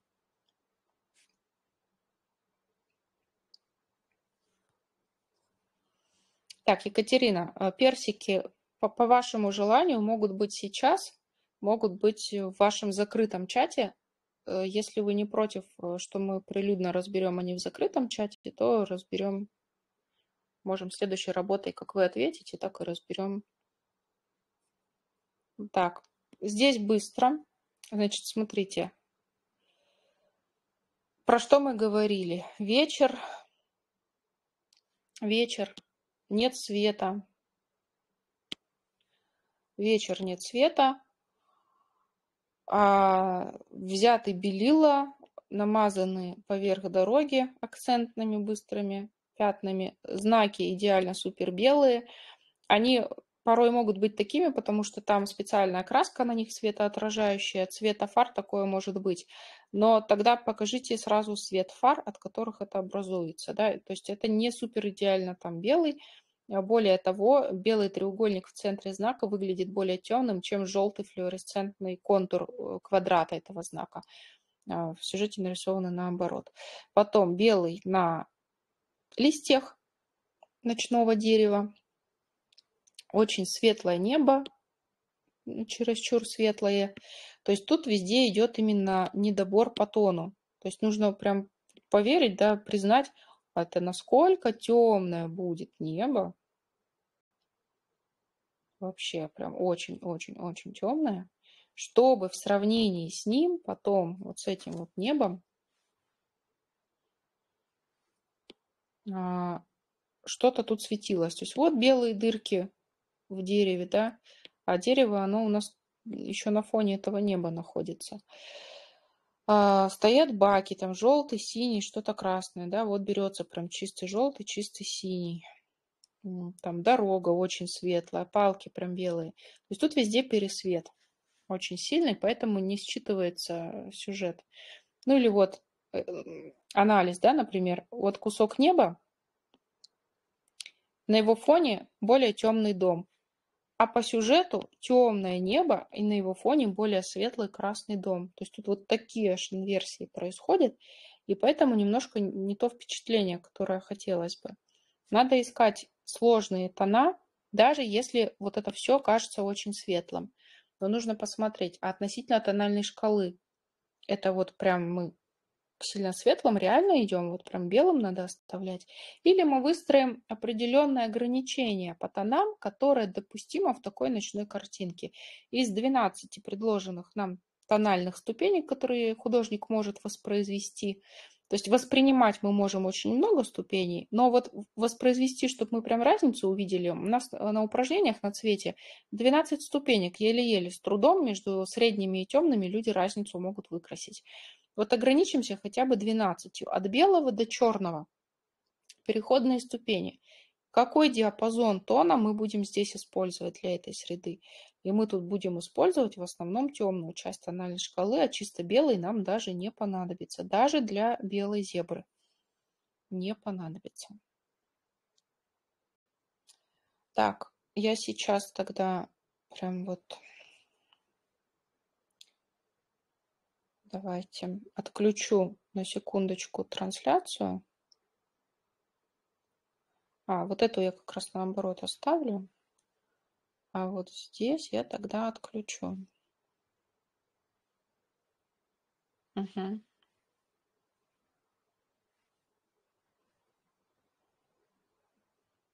Все. Сейчас я открою пока Екатерины сюжет на разбор. Не отключили. Что я не отключила? Трансляцию экрана? Экрана. Угу. Потому что я старая бабка. Все? Нет, вы теперь включили камеру еще на планшете. Надо выключить и камеру, и трансляцию. На, на Я вообще не знаю. Вот так? Все, да.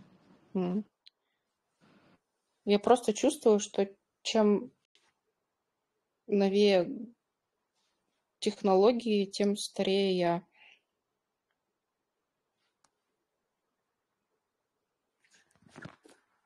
Так, давайте я пока как раз зарядку подключу. Жду от вас реакцию в чате. Что у вас там сейчас в уме происходит? Картинку со светлым колоритом Петропавловская крепость. У меня там в запасе много сейчас картинок еще. Может быть, она там у вас и будет. Я просто постаралась взять хотя бы работы, в которых не супер одинаковые сюжеты, поэтому если одинаковые городские среды, там не сильно будет э, удобно. Так, так, так. Чат «Закрытый клуб». Где? Вот он. Так, сейчас мы найдем. Да, там очень интересная работа такая графика. Екатерина, а у вас сохранились фотографии а, ваших трафаретов? Может быть, вы фотографировали процесс, как вы из бумаги нарезали эти трафареты, потому что у нас не все в курсе этой техники и тех тем, которые мы обсуждаем в закрытом чате. Я думаю, будет очень интересно посмотреть всем, как это на самом деле происходит, потому что я вот сейчас скажу, что это нарисовано э, через трафарет, а люди не поймут, что я имею в виду. Так, значит, пока опишу задание.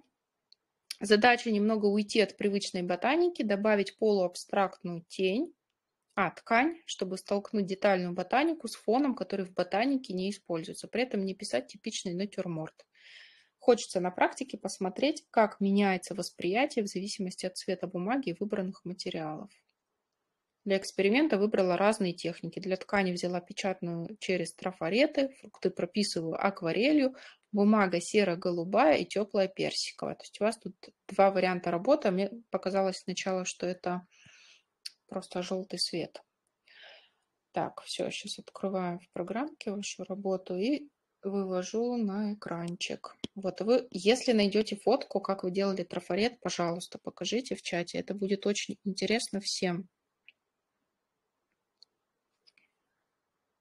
Да, пока так вам на словах попытаюсь объяснить а, про эти трафареты. То есть вырезается из бумаги трафарет, накладывается на основную рабочую зону спонжем или валиком, или там кто чем гораст, акварелью прокрашиваются прорезанные элементы, а остальные детали уже красятся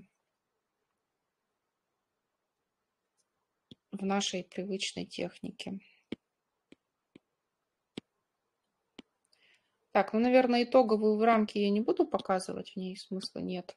Я рабочие два варианта покажу на серо-голубой бумаге и на персиковой бумаге.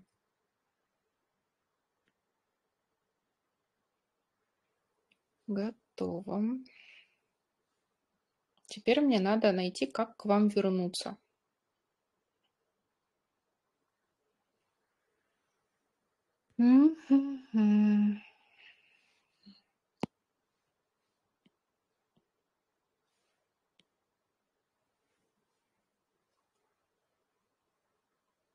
Так.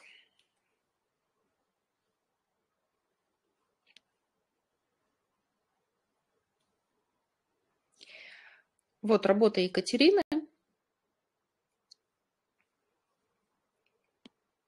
Ну, в оформлении это выглядит примерно так.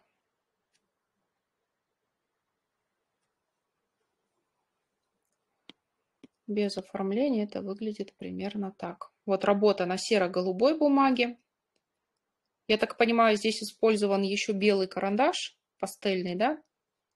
Либо что-то такое. И вариант работы на персиковой бумаге, тонированной уже сразу. Здесь тоже, кстати, белый карандаш классно бы зашел. Показать цвет на складках. Ну вот смотрите, на мой взгляд, более эффектная работа именно на голубой бумаге, потому что она вся противоположна этим персикам и прям очень хорошо зажигается контраст на них.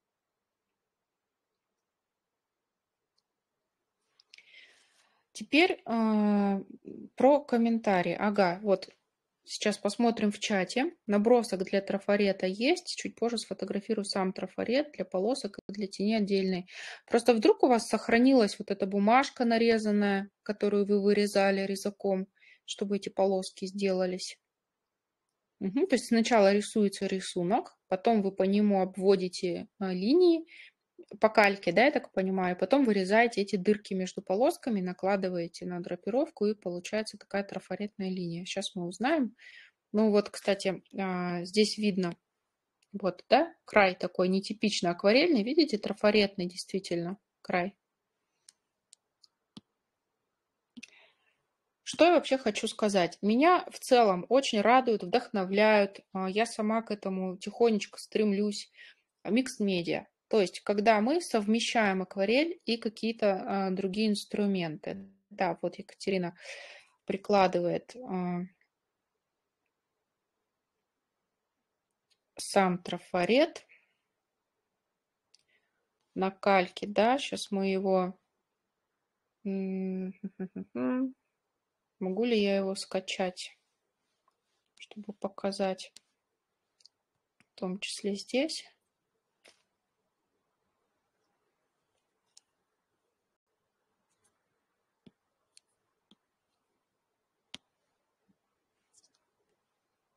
Вот он, да? Так выглядит уже использованный трафаретик. Вырезаны дырочки под полосочки. Это все очень важно. Это открывает очень классные горизонты, как можно работать. Что хотите вообще можете делать на самом деле. А, используйте все, что угодно. И с акрилом можно совмещать акварель. И вот такая техника. Так, дальше значит, взят э, этот трафарет, э, по сути, не так важно, каким инструментом сделаны эти полосы, трафаретом или отрисованы вручную, или а, есть еще такая техника очень известная, это совмещение э, черно-белой карандашной графики и акварели. Ну, то есть потенциально вот эти вот складки, эти полоски могли быть нарисованы чем угодно, хоть аэрографом, хоть карандашом, хоть акварелью через трафарет, хоть напечатанный на принтере, а фрукты вы рисуете уже по-спортивному от руки. Не так важно, важно, что мы совмещаем реалистичное изображение и такую стилизованную графику. Это, кстати, стиль очень мне напоминает Николая Зайкова, нашего преподавателя, который очень такие штуки даже профессионально делает. Так, теперь, что бы мы тут хотели? И вот здесь возникает вопрос а какое право я имею вообще тут говорить и э, вносить какие-то рекомендации, что здесь нужно поправить, если автор изначально не хотел реалистичности.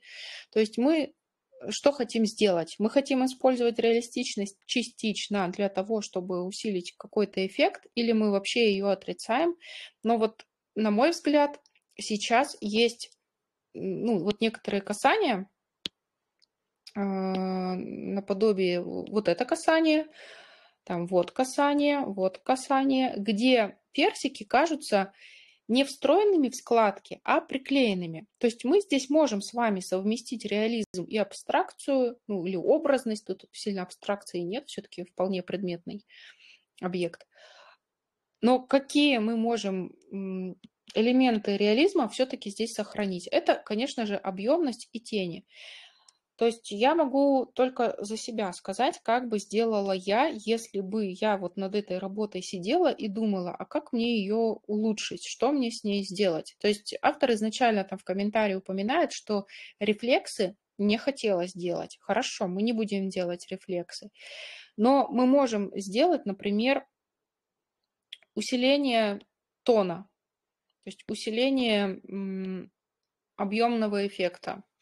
Если бы, например, в тех местах, где объект погружается, можно я сейчас не буду сильно много времени тратить на какие-то супер точные рисования, а я просто свою идею хочу передать. То есть если складка подгружается в тень, в которой тонет фрукт, то она а, вот в этом загибе, да, в уплотнении может потемнеть. Может быть, не настолько сильно. Может, я, конечно, перегибаю, да, чуть посветлее сделаю. Но если складочка своими полосочками бы э, тонула немножко более выразительно под тяжестью этого фрукта, то мы бы смогли через вот это утопление, через усиление тона, как раз-таки э, через вот это показать какое-то взаимодействие между драпировкой и фруктом, которые сделаны разными техниками и вообще как из разных миров. И нам их надо как-то подружить. А складки на свету живут своей жизнью, там, где они выворачиваются к свету, полосочки светлеют, там, где а, складки уходят в тень, полосочки темнеют. Не могу сказать, что в этом сюжете прям это как-то синхронизировано, чувствуется некий разнобой в направлениях, но вот возле фруктов мы можем этот эффект усилить. Так же, как и сами фрукты, мы могли бы подчинить эм, этому пространственному взаимодействию. Например, фрукт уходит в тень, он подворачивается под складку. Да, мы не используем рефлексы, а вы не рисуете оранжевое отражение на драпировках вокруг. Но если я дам объем своим фруктам, они неоднозначные по цвету, у нас тут где-то более красноватые бочки, где-то более рыжеватые, желтоватые, ну, вот в этой палитре, если я а, буду работать тоже чуть темнее, как бы закруглю их туда в тень, а, то есть вот возьму вот этот цвет, снижу ему насыщенность, тональность и посажу его в глубину. То есть если я выражу как-то более э, ощутимо объемы в касаниях, в посадке, да, в эти ямки, то фрукты тоже туда усядутся. Чего нам не хватает, э, если бы это был полный реализм? Нам не хватает падающих теней от фруктов, и нам не хватает рефлексов. Про рефлексы мы договорились, а про падающие тени можно тогда сделать следующую согласованность. Например, я буду не все полоски вот так вот ощутимо затемнять, я их э, затемню, ну, постольку поскольку, да, чтобы они были хотя бы темнее света на краях моих персиков, тогда этой тональной э, работы, этих касаний уже будет достаточно, чтобы свет хотя бы на моих фруктах выделился. А вместо падающих теней, вместо больших проективных пятен, я тогда эм, использую мои черные полоски как область, в которых может быть изображена падающая тень, ну, например, вот таким пунктиром. То есть здесь тень, если бы была там вот такая, да, ну, я давайте привру, вот чтобы это просто было наглядно видно, то я внутри этой потенциальной проекции, например, черные полоски там затемню, какие могли бы там от моего персика упасть, ограничиваясь вот этой вот проекцией, а вокруг полоски будут светлыми. И таким образом, когда, например, а у меня тут есть резинка, кстати, когда я, например, эту границу рисовать не буду и сохраню рисунок таковым, что те полоски, какие у меня были, затемнились, они будут имитировать вот этой вот тын-тын-тын, да, как э, через жалюзи дырочки, они все равно эффект падающих теней, например, покажут. Но это будет не сплошная тень, к которой мы все привыкли, а стилизованная под ваш рисунок.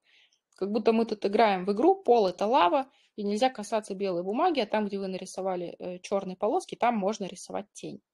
Да, она без рефлексов, да, она в стиле вашего а, монохромного такого решения этой драпировки, но это тоже элемент реализма, который привязывает персик к этой плоскости, к этому предмету, к этой поверхности. Это какой-то элемент взаимодействия. А дальше вы сюда вводите еще акцентные синие штришки в этих полосках. Мне тоже этот эффект, в принципе, очень нравится. Почему бы нет? Пусть будут. Пусть будут. Вот. То есть я бы, наверное, вот таким образом это все дело и присадила сюда. И у нас получится между ними связь, между этими объектами в том э, тональном переходе, то есть мы между ними делаем тональный мостик, когда фрукт затемнился, ушел в объем, и полосочка близко к нему, подходя, имитируя тень, тоже затемняется, и они через общую темную тональность сливаются, и дальше это пятно переливается в полоски тени. Это вот мое мышление, что бы я сделала, чтобы, с одной стороны, подружить эти объекты, а с другой стороны, сохранить вот эту графичность, образность и не переходить э, сильно в подробный реализм.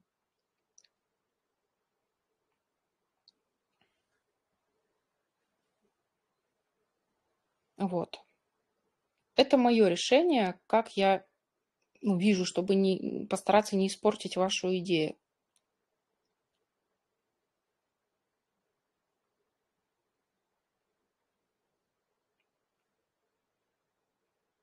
Но я думаю, что если мы сюда и рефлексы бы включили, тоже плохо бы не было, хотя мы, мы тогда уйдем в живопись совсем. Акцент металлизированной акварели, она на темном хорошо видна. Ну вот персики просто не везде в объем вошли. Тут же драпировка нам прям показывает, что она вся изгибается, светлеет, темнеет. А персики сами по себе объем вроде как имеют, но не настолько темный, как показывает потенциал возможности затемнения эта драпировка. Угу. Да, прикольная графика. Прикольная графика. И карандашик белый здесь есть. Ну вот э, с белым, опять же, я боюсь что-то навязывать, но мне кажется, можно было даже и прям вот, ну, прям белым сделать. Опять же, не везде, то есть только те складки, которые, возможно, ключевые, находятся в либо в композиционном центре, либо в каком-то важном соседстве с персиками, но само по себе соприкосновение тонированной бумаги и ну, белого какого-то укрывистого материала, это тоже очень интересно и хорошо освежает. Но тоже надо подумать, куда, точно не на периферию, да, вот сюда в края лепить не надо, а в центре где-то может быть что-то подчеркнуть, почему бы нет. Так, хорошо. Такой ответ.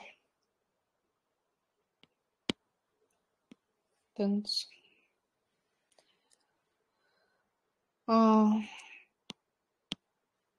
вот здесь, не рисуя, мы с этим автором уже сегодня много работаем, не рисуя вода сильно...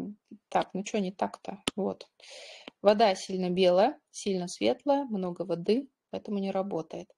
Столбы нарисованы все черным, а мы рисуем на фоне цветного источника света цвет источника света, более темно-синим. Вот здесь тоже очень сильно все разбелено. Смотрим, насколько оно плотнее, желтее, источник света теплоспектральный, очень ограниченный. То есть тут гуще теплее будут цвета, поменьше белил, ну, воды точнее в нашем случае в составе. Вот, то есть здесь тоже воды не надо, если мы уже... Вот цвет очень круто нарисован, вот это офигенское пятно. Золотистый такой, прям как от фонаря. Круто листочки технически сделаны. Вот, на мой взгляд, вот эта крона очень шикарно технически сделана. Но дальше мы пошли в воду. И мы потеряли ну, вот эту вот темную контрастность, на фоне которой это все светилось. Вот. А так вообще, на мой взгляд, вот этот кусок, он вообще удачный очень. Красиво получилось. Так, вот эта история. Еще раз про пересветы. Во-первых, небо почти белое. Во-вторых, видим домик белый и рисуем в тени белое. Тут белое, тут белое, все белое, а он уже у нас в тени, и он э, голубой рефлекс на себя принимает, и только поверхности, которые прям на солнышко открыты, они могут у нас такой сильный свет отразить. А в сравнении с ними теневые поверхности будут уже более плотненькими, более темными. Трава тоже прям прозрачная в разбеле, а она густая, средняя, насыщенная. А то, что вот дальний план, например, нарисован бледнее, чем на фото, вот это хорошо. Вот тут, наоборот, так и надо. Молодец, увела в воздух. Так. Здесь колеса белые, все какое-то бледное. Вода. Опять смотрим. Это теневая среда. Все, что вот в тени стоит, это цельное, темное, большое пятно. Никаких тут не надо ни разбелов, ни размылов. Не надо пытаться сохранить свет на лице ребенка, который находится в теневой синей проекции. Он должен быть грязным и темным. Да? Потому что все вот эти дырочки цветные, они прям сразу бросаются в глаза. А темный план залили как-то солнышком закатным, поменяли э, среду, это все хорошо. Просто дом тогда не будет такой красный вот здесь, да, то есть он наоборот еще темнее, холоднее будет. Надо смотреть. Белая машина. Не может быть тут белой. Так, о, вот это, вот это самый крутой сюжет на планете. Мне очень напомнило это советскую книжную иллюстрацию.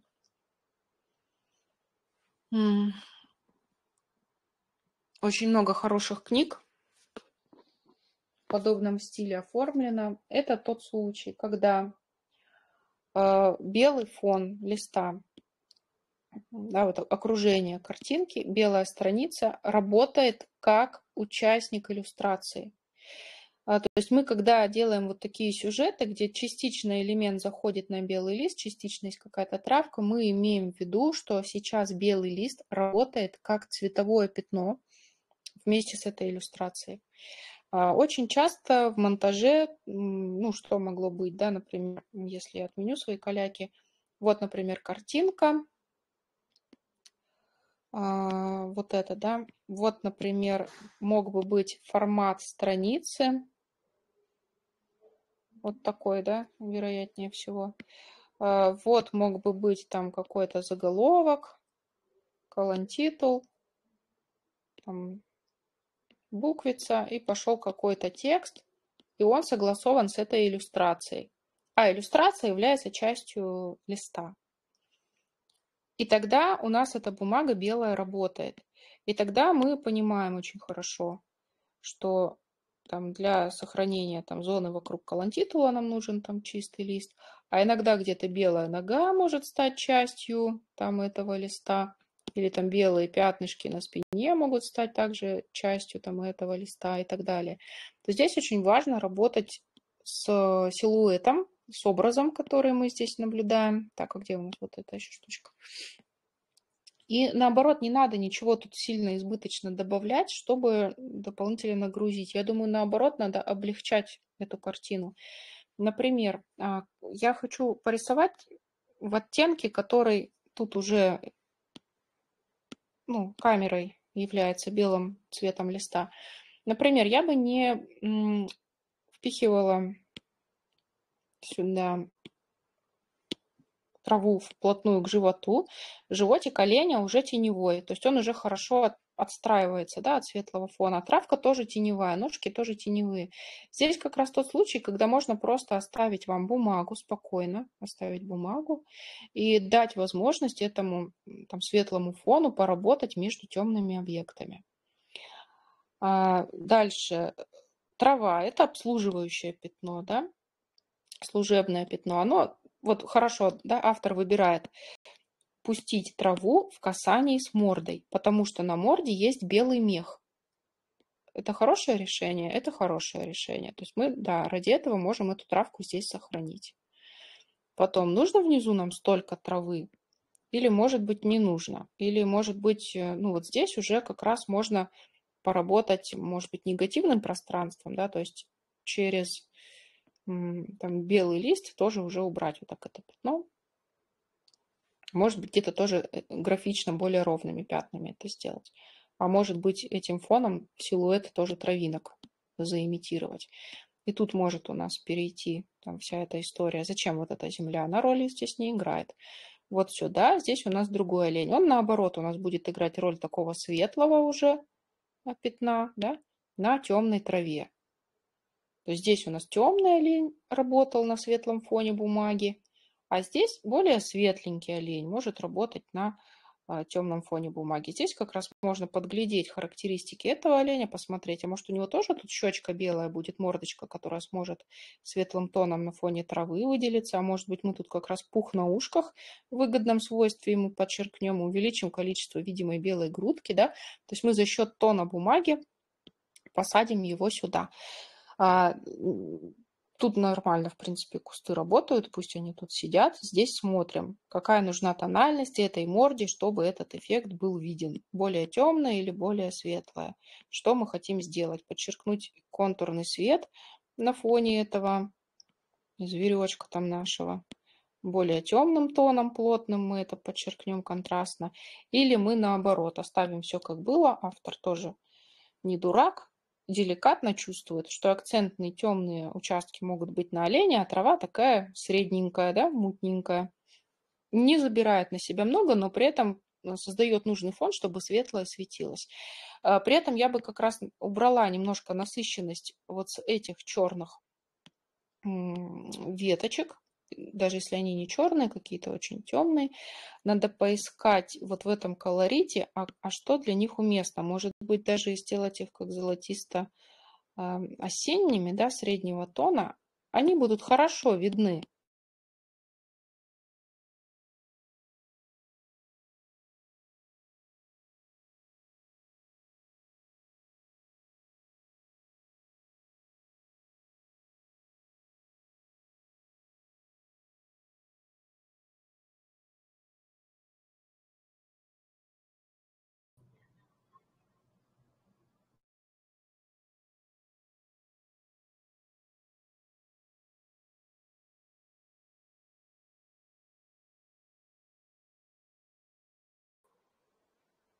Меня же еще и выбросило из моей же трансляции. Вообще куда годится? Да? Вот, а, то есть вот здесь, например, белый фон уже достаточно светлый, чтобы на нем было видно любые элементы. Их не обязательно делать черными. Так, секундочку, мне кажется, я запись не включила, да?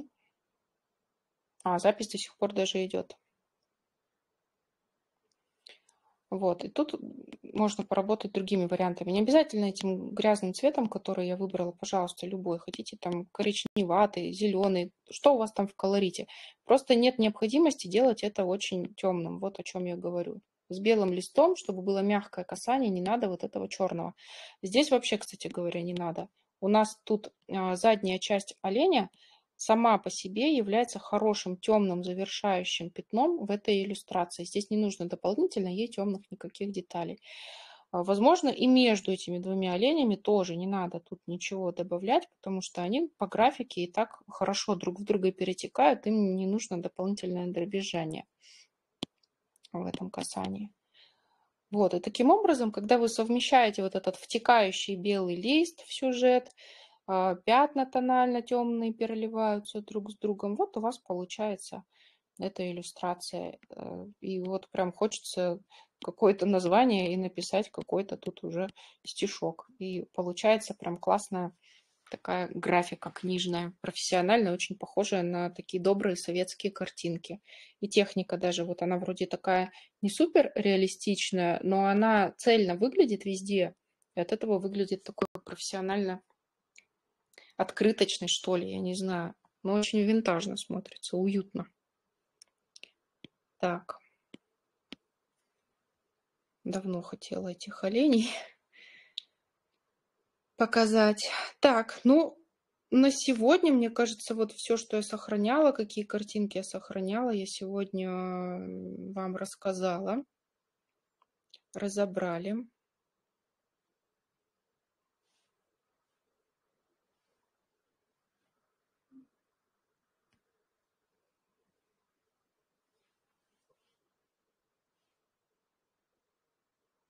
Угу. Все.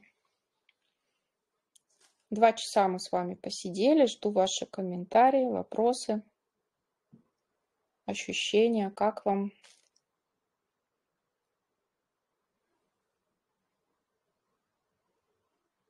До конца дошел 41 человек.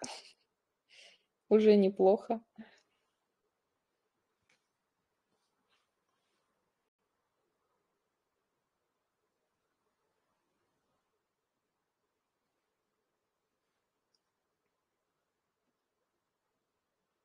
Напишите разбор, какой работы вам сегодня больше всего понравился или какую-то идею вы в нем услышали для себя интересную. Кому что запомнилось сегодня? Давайте закрепим результат встречи. Хочется все перерисовать. Да. Всем хочется все перерисовать.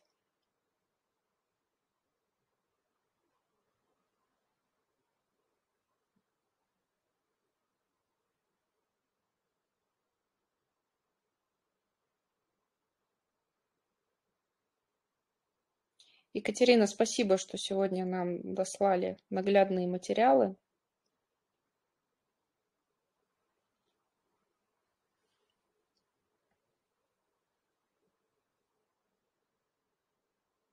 Что-то стало проясняться в этой жизни. Ну да, хотя бы здесь в рисовании немножко. Так, круто получилось с персиками. Да, мне тоже понравился сюжет с персиками. Так, стало понятно, почему Земля в пейзаже темнее, чем небеса. Да. Небеса – это источник света, а Земля всего лишь отражает часть этого света, она не может быть светлее. Так, разборы по тону с цветом. Черный на переднем плане рисовать черным цветом фона. Чуть-чуть, чуть-чуть с цветом фона. Так. Вопрос про передачу бликов от тусклого фонаря в подвале. Не помню такого. Персики и олени. Ну да, вот у нас сегодня проскочили уже такие стилизованные работы, но я должна отметить, что э, олени – это работа Дины Сабитовой, персики Екатерины Логвиновой, которые уже с нами очень-очень давно, то есть э, девушки уже перешли на самостоятельную такую графику, идейную, от себя тинку авторскую, уже такие могут себе позволить отхождение от классического рисования. И мне, конечно, всегда очень интересно посмотреть, как выглядит что-то нестандартное.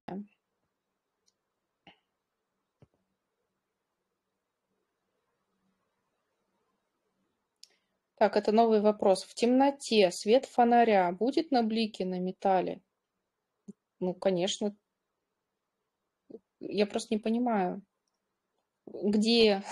Ну, то есть если фонарь светит, то его свет, конечно, будет отражаться от металла. Нужна картинка, что находится, где находится.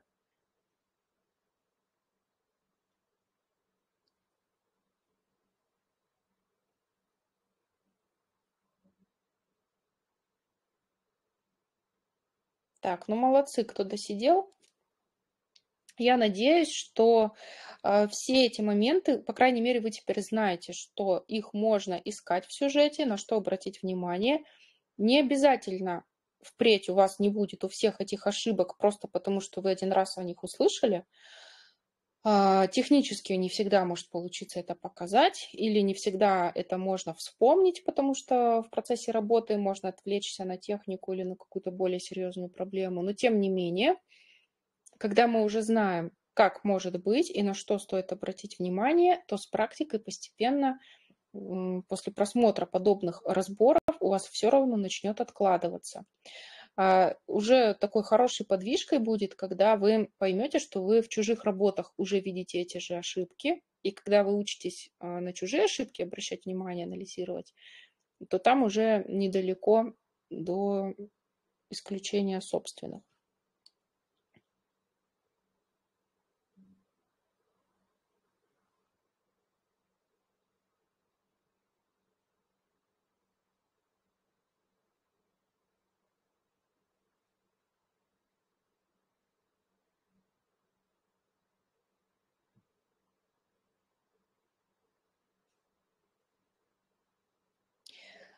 Воздух, он и на водопаде, и на закате, и в пустыне, и в поле. Просто куда бы мы ни посмотрели, воздух – это полноценный участник любого открытого пространства. И даже в натюрморте, где небольшое расстояние, но мы все равно искусственно усиливаем плотность воздуха для создания эффекта пространства. Воздух – это персонаж, который везде с нами. Пожалуй, ну, за исключением вот этих плоских иллюстраций, книжных, да, когда мы вот что-то такое делаем, и то не всегда, и то. Даже в ботанической иллюстрации мы включаем воздух, чтобы дальние листочки утопить в пространство, в отличие от ближних. Воздух всегда везде с нами, и он не имеет формы, но он э, должен быть нарисован. И мы его рисуем, когда изображаем объекты, которые он мешает нам видеть полноценно вот тогда мы с вами рисуем воздух. Про него надо не забывать. То есть он не конкретный, он не объектный, наши глаза его не видят. Но как художники мы должны понимать, что наши все предметы, они не в вакууме космическом находятся в каком-то. Все пронизано плотным воздухом. Воздух очень плотный. И если у вас в сюжете есть свет, и чем больше этого света, тем мутнее будет то, что мы видим на дальнем плане. Есть пейзажи, знаете, вот в горах, в каком-то очень кристально чистом, например, месте, в природном, где действительно чистейший воздух. И спокойная погода, да, и нет ветра, и нет влажности. Олени не Дины, а, по-моему, Дины. Но если не Дины, ну я прошу прощения. Мне просто показалось, что это Дина рисовала. А, вот, и даже э, вы можете на стоках видеть э, вот эти фотографии разных красивых пейзажей, аж вот до кислоты таких цветных. Но если мы используем такую фотографию для срисовывания, мы все равно будем включать воздушную среду, ну, потому что срисовывать слишком чисто, слишком насыщенно, слишком черно, это не очень правильно. Хотя такие пейзажи, возможно, даже существуют с кристально чистым воздухом, в котором ничего не летает. Возможно, да. Так же, как бывает очень прозрачная вода, э, в которой прям видно дно, да, и это так, такие редкие какие-то водоемы чистые. Да, бывают. Но чаще всего, если мы все-таки хотим передать эффект воды, то мы показываем, как эта вода, в которой тоже есть всякие частички плавающие, тоже мешает нам видеть а, через эту воду что-то на глубине или на подводных расстояниях как мы сегодня видели сюжет с водопадом, там вода показана достаточно плотной, такой густоватенькой, и поэтому она нам не дает нормально рассмотреть. Так, закрытый клуб выпускников.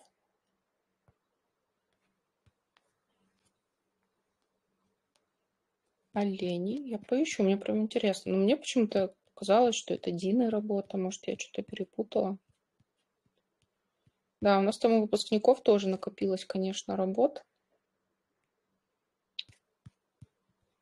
У нас сейчас такой режим работы, что я просто сама от себя в шоке.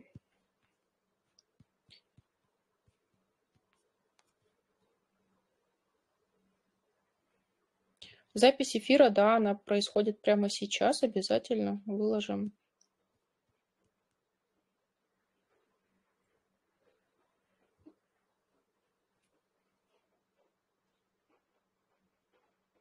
Трам-пам-пам. Пока ничего не вижу, откуда я ее вообще взяла.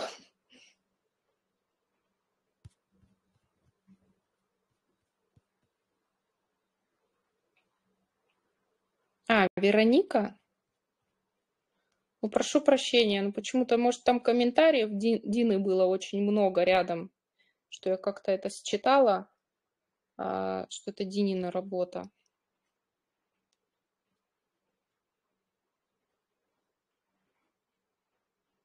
Ну ладно. Для выпускников у нас отдельно будут разборчики. Дина, наверное, сделала эскизик, да, там что-то подрисовала и задублировала и выложила с коррекцией. И я подумала, что это ее пост. Ну ладно. Ну, лишний раз похвалила, ничего страшного. Дина у нас тоже молодец. Ладно, всем спасибо. Давайте тогда заканчивать. Не буду вас больше задерживать. Если интересно, присылайте э, в чат работы подобные, потому что каждая ваша ошибочка, она может быть раскрыта вообще с разных сторон и быть полезной очень большому количеству людей, не только вам. Вместе мы коллективно как раз все разбираем и иногда замечаем то, что сами не видим. Хотя вещи элементарные, я бы не сказала, что я вам сегодня что-то суперсложное рассказала или суперумное. Нет, вы это все, я думаю, знали, просто где-то внутри не обратили внимания, пока рисовали, потому что в акварели мы очень сильно сбиваемся на технику, чтобы не высохло, не затекло, не, не присохло. И в этом процессе каком-то суетном мы забываем про очень простые теоретические вещи – но э, в картине важнее соблюсти тон, цвет, насыщенность, свойства цвета, чем сделать красиво по технике. Уж лучше пусть будет оно шершаво, с пятнами, но все на своих местах, тогда работа будет убедительной. А техника, она уже от э, частоты повторения сама собой нарастет. Вот. Надо просто периодически делать такие разборы, обращать внимание на какие-то такие вещи – правильно кто-то из вас сказал, мы видим то, что знаем. Да? Пока мы это не знаем, мы и не обращаем внимания на такие ошибки. Все, всем спасибо. Да, Марина, мы такие разборы регулярно проводим. Не каждую неделю, не получается по времени, потому что у нас то запуски курсов, то прямые эфиры, то мы мастер-классы делаем, то еще что-нибудь. Но минимум раз в месяц мы сейчас такое делаем обязательно. Все, всем пока-пока, все молодцы.